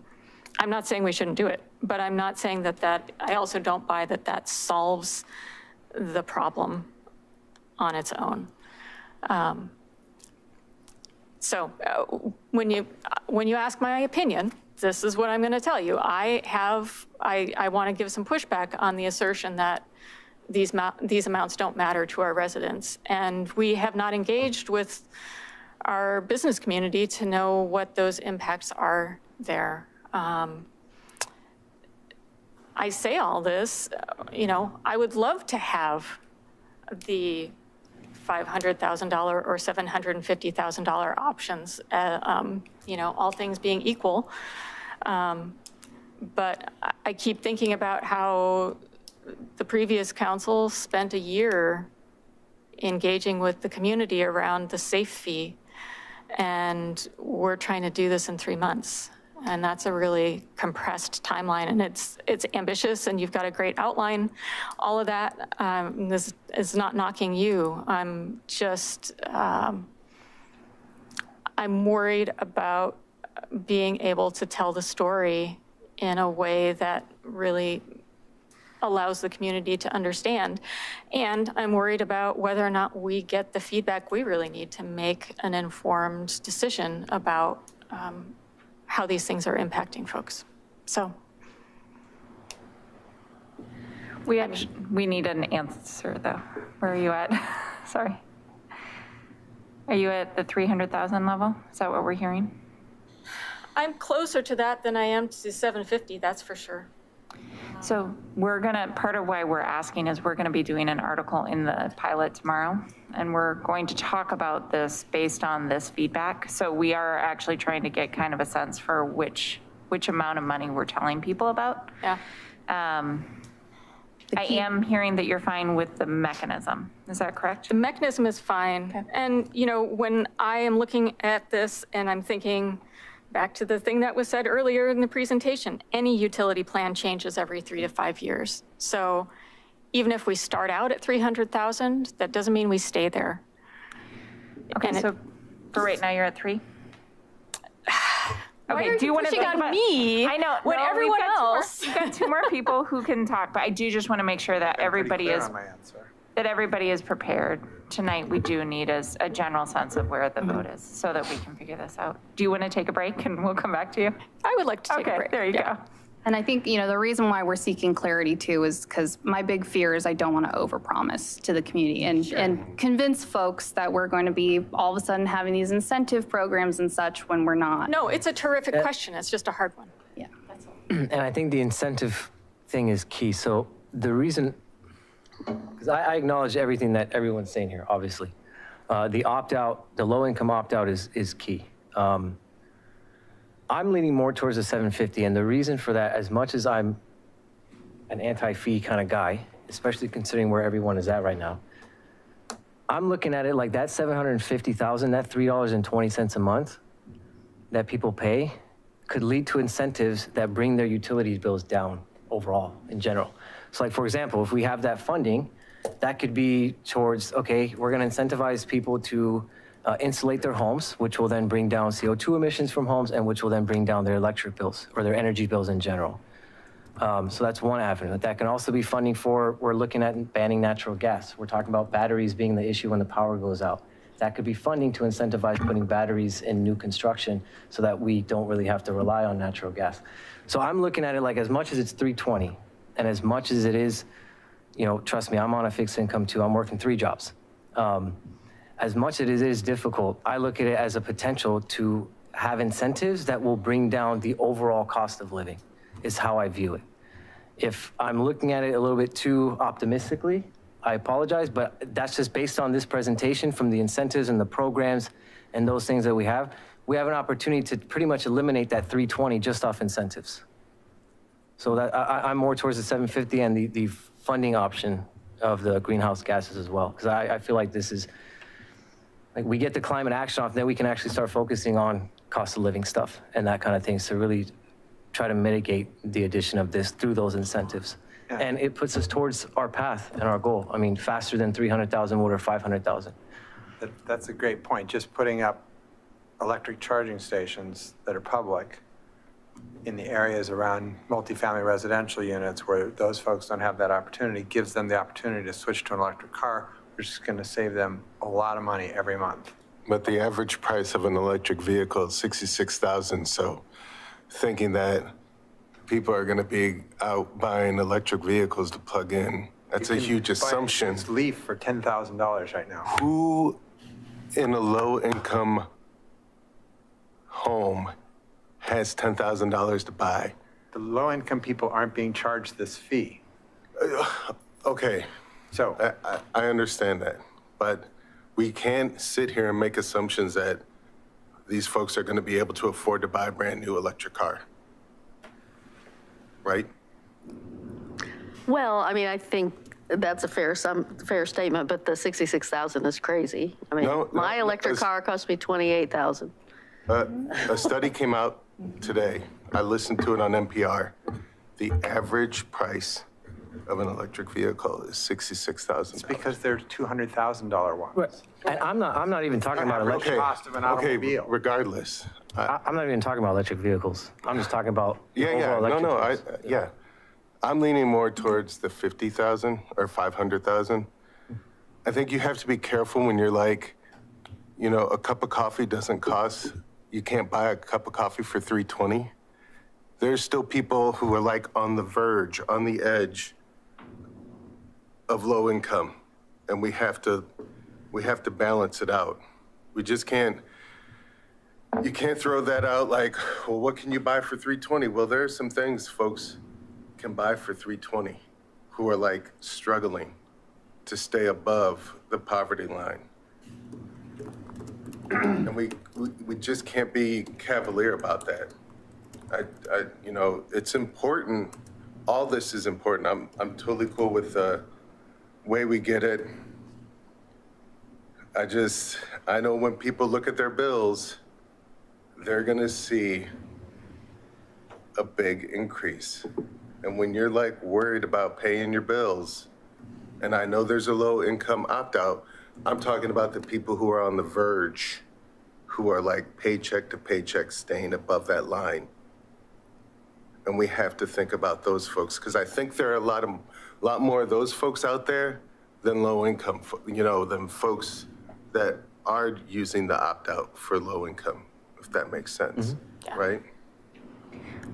I will say that, that this is kind of direction that council can provide us when we're looking at different program opportunities, is ones that kind of have incentives. Um, Ones particularly, I mean, one gap that I've noticed, even myself in taking advantage of programs, are things like, you mentioned new electric vehicles, local, you know, incentives or rebates for used.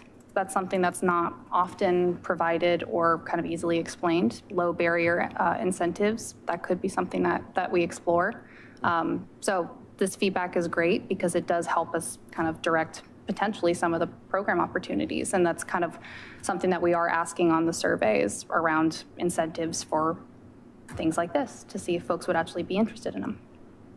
Yeah, and, you know, I can get to 500,000 if, if we are really working to emphasize, um, and it's not necessarily that that money is directly going to create incentives. I think the money probably goes to create the pathways to those incentives. You know, the state of Oregon and the feds both are rolling out programs that will help pay for um, EVs for lower income folks. So I think the work isn't, let's create a $500 cash rebate. It's, let's do an education program that helps connect these people to these things, you know? Um, Some of those, like insulation, and I mean, I do think there will be other, there's already some um, state money for that, and I think there will be more out Yeah, of the. there is, out of the bipartisan infrastructure bill, yeah. Um, So, uh, you know, if the work is on how, how can we make our community more nimble in connecting between the resources that are out there and the people who just don't have the time to find them, um, and the people who will benefit the most from getting them, then I can get there. Um, and I think that's a story that's going to be really critical for us to tell. And I just want to highlight that in our surveys, almost always our community outreach is disproportionately represented um, very high income families. Um, and, and so this is why I kind of go back to that nuggets of information because I, I think that reusable coffee cups are awesome. Don't get me wrong, I am not knocking re- reusable coffee cups one second. I have the privilege of thinking about this as, and purchasing it. And so I look at that and go, yes, I want reusable coffee cups. I may not think about home weatherization as a person of privilege. So that's why I want to really stress that contextualization um, when that, that survey goes out and when that outreach is done to ask for feedback on how to do things um, from the community. I think that's in alignment with a lot of the work that we've been doing. I mean, that's why we've been pursuing more utility scale options that aren't just rooftop solar, knowing that a lot of folks can't afford rooftop solar. Um, And I think we can continue to do that. So I just want to make sure I hear what I'm hearing so that we can get the article out tomorrow. So the first is, it sounds like we have three for 500 and we have two for 750. So right now, No, I meant 500. So I think that that means then we're going to price this around that. I'm, I'm hearing some conflation around the arborist role inside the 500. So what I'd like to recommend is that we look at how we proportionately share the private property portion of the tree work into the fund, so it'll be a lower amount. But it will still be, we have to have some if we're going to keep doing the work we're doing. And, and that will give us a little more money going the other direction towards more of the, the climate specific items. Um, Is, am I reading that right? Generally, everybody's on board for that? Okay. So we will work on that um, in the coming week. Natalie has a lot of work to do in the morning um, to come up with a list of what we're going to publish out to the community. But I think we hear you. We'll, we'll take fewer tree components into the program, but we will still have some in there. We'll focus on, on the incentives. I'm also hearing as being the primary of, of getting people connected to incentives, maybe not producing them ourselves, but connecting people to incentives. Okay. Anything else that we need to hear from you all? And then a 5-0 on this is the right mechanism and this is the right structure. Okay, Thank you. Thank you. I know you. this is a ton of work.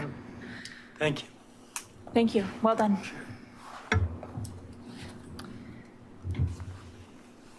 Thanks, everyone. This meeting. I believe after the regular session, council will meet as the Milwaukie Redevelopment Commission. The commission will meet in person at City Hall and on the same Zoom meeting. Don't go anywhere if you'd like to watch that meeting.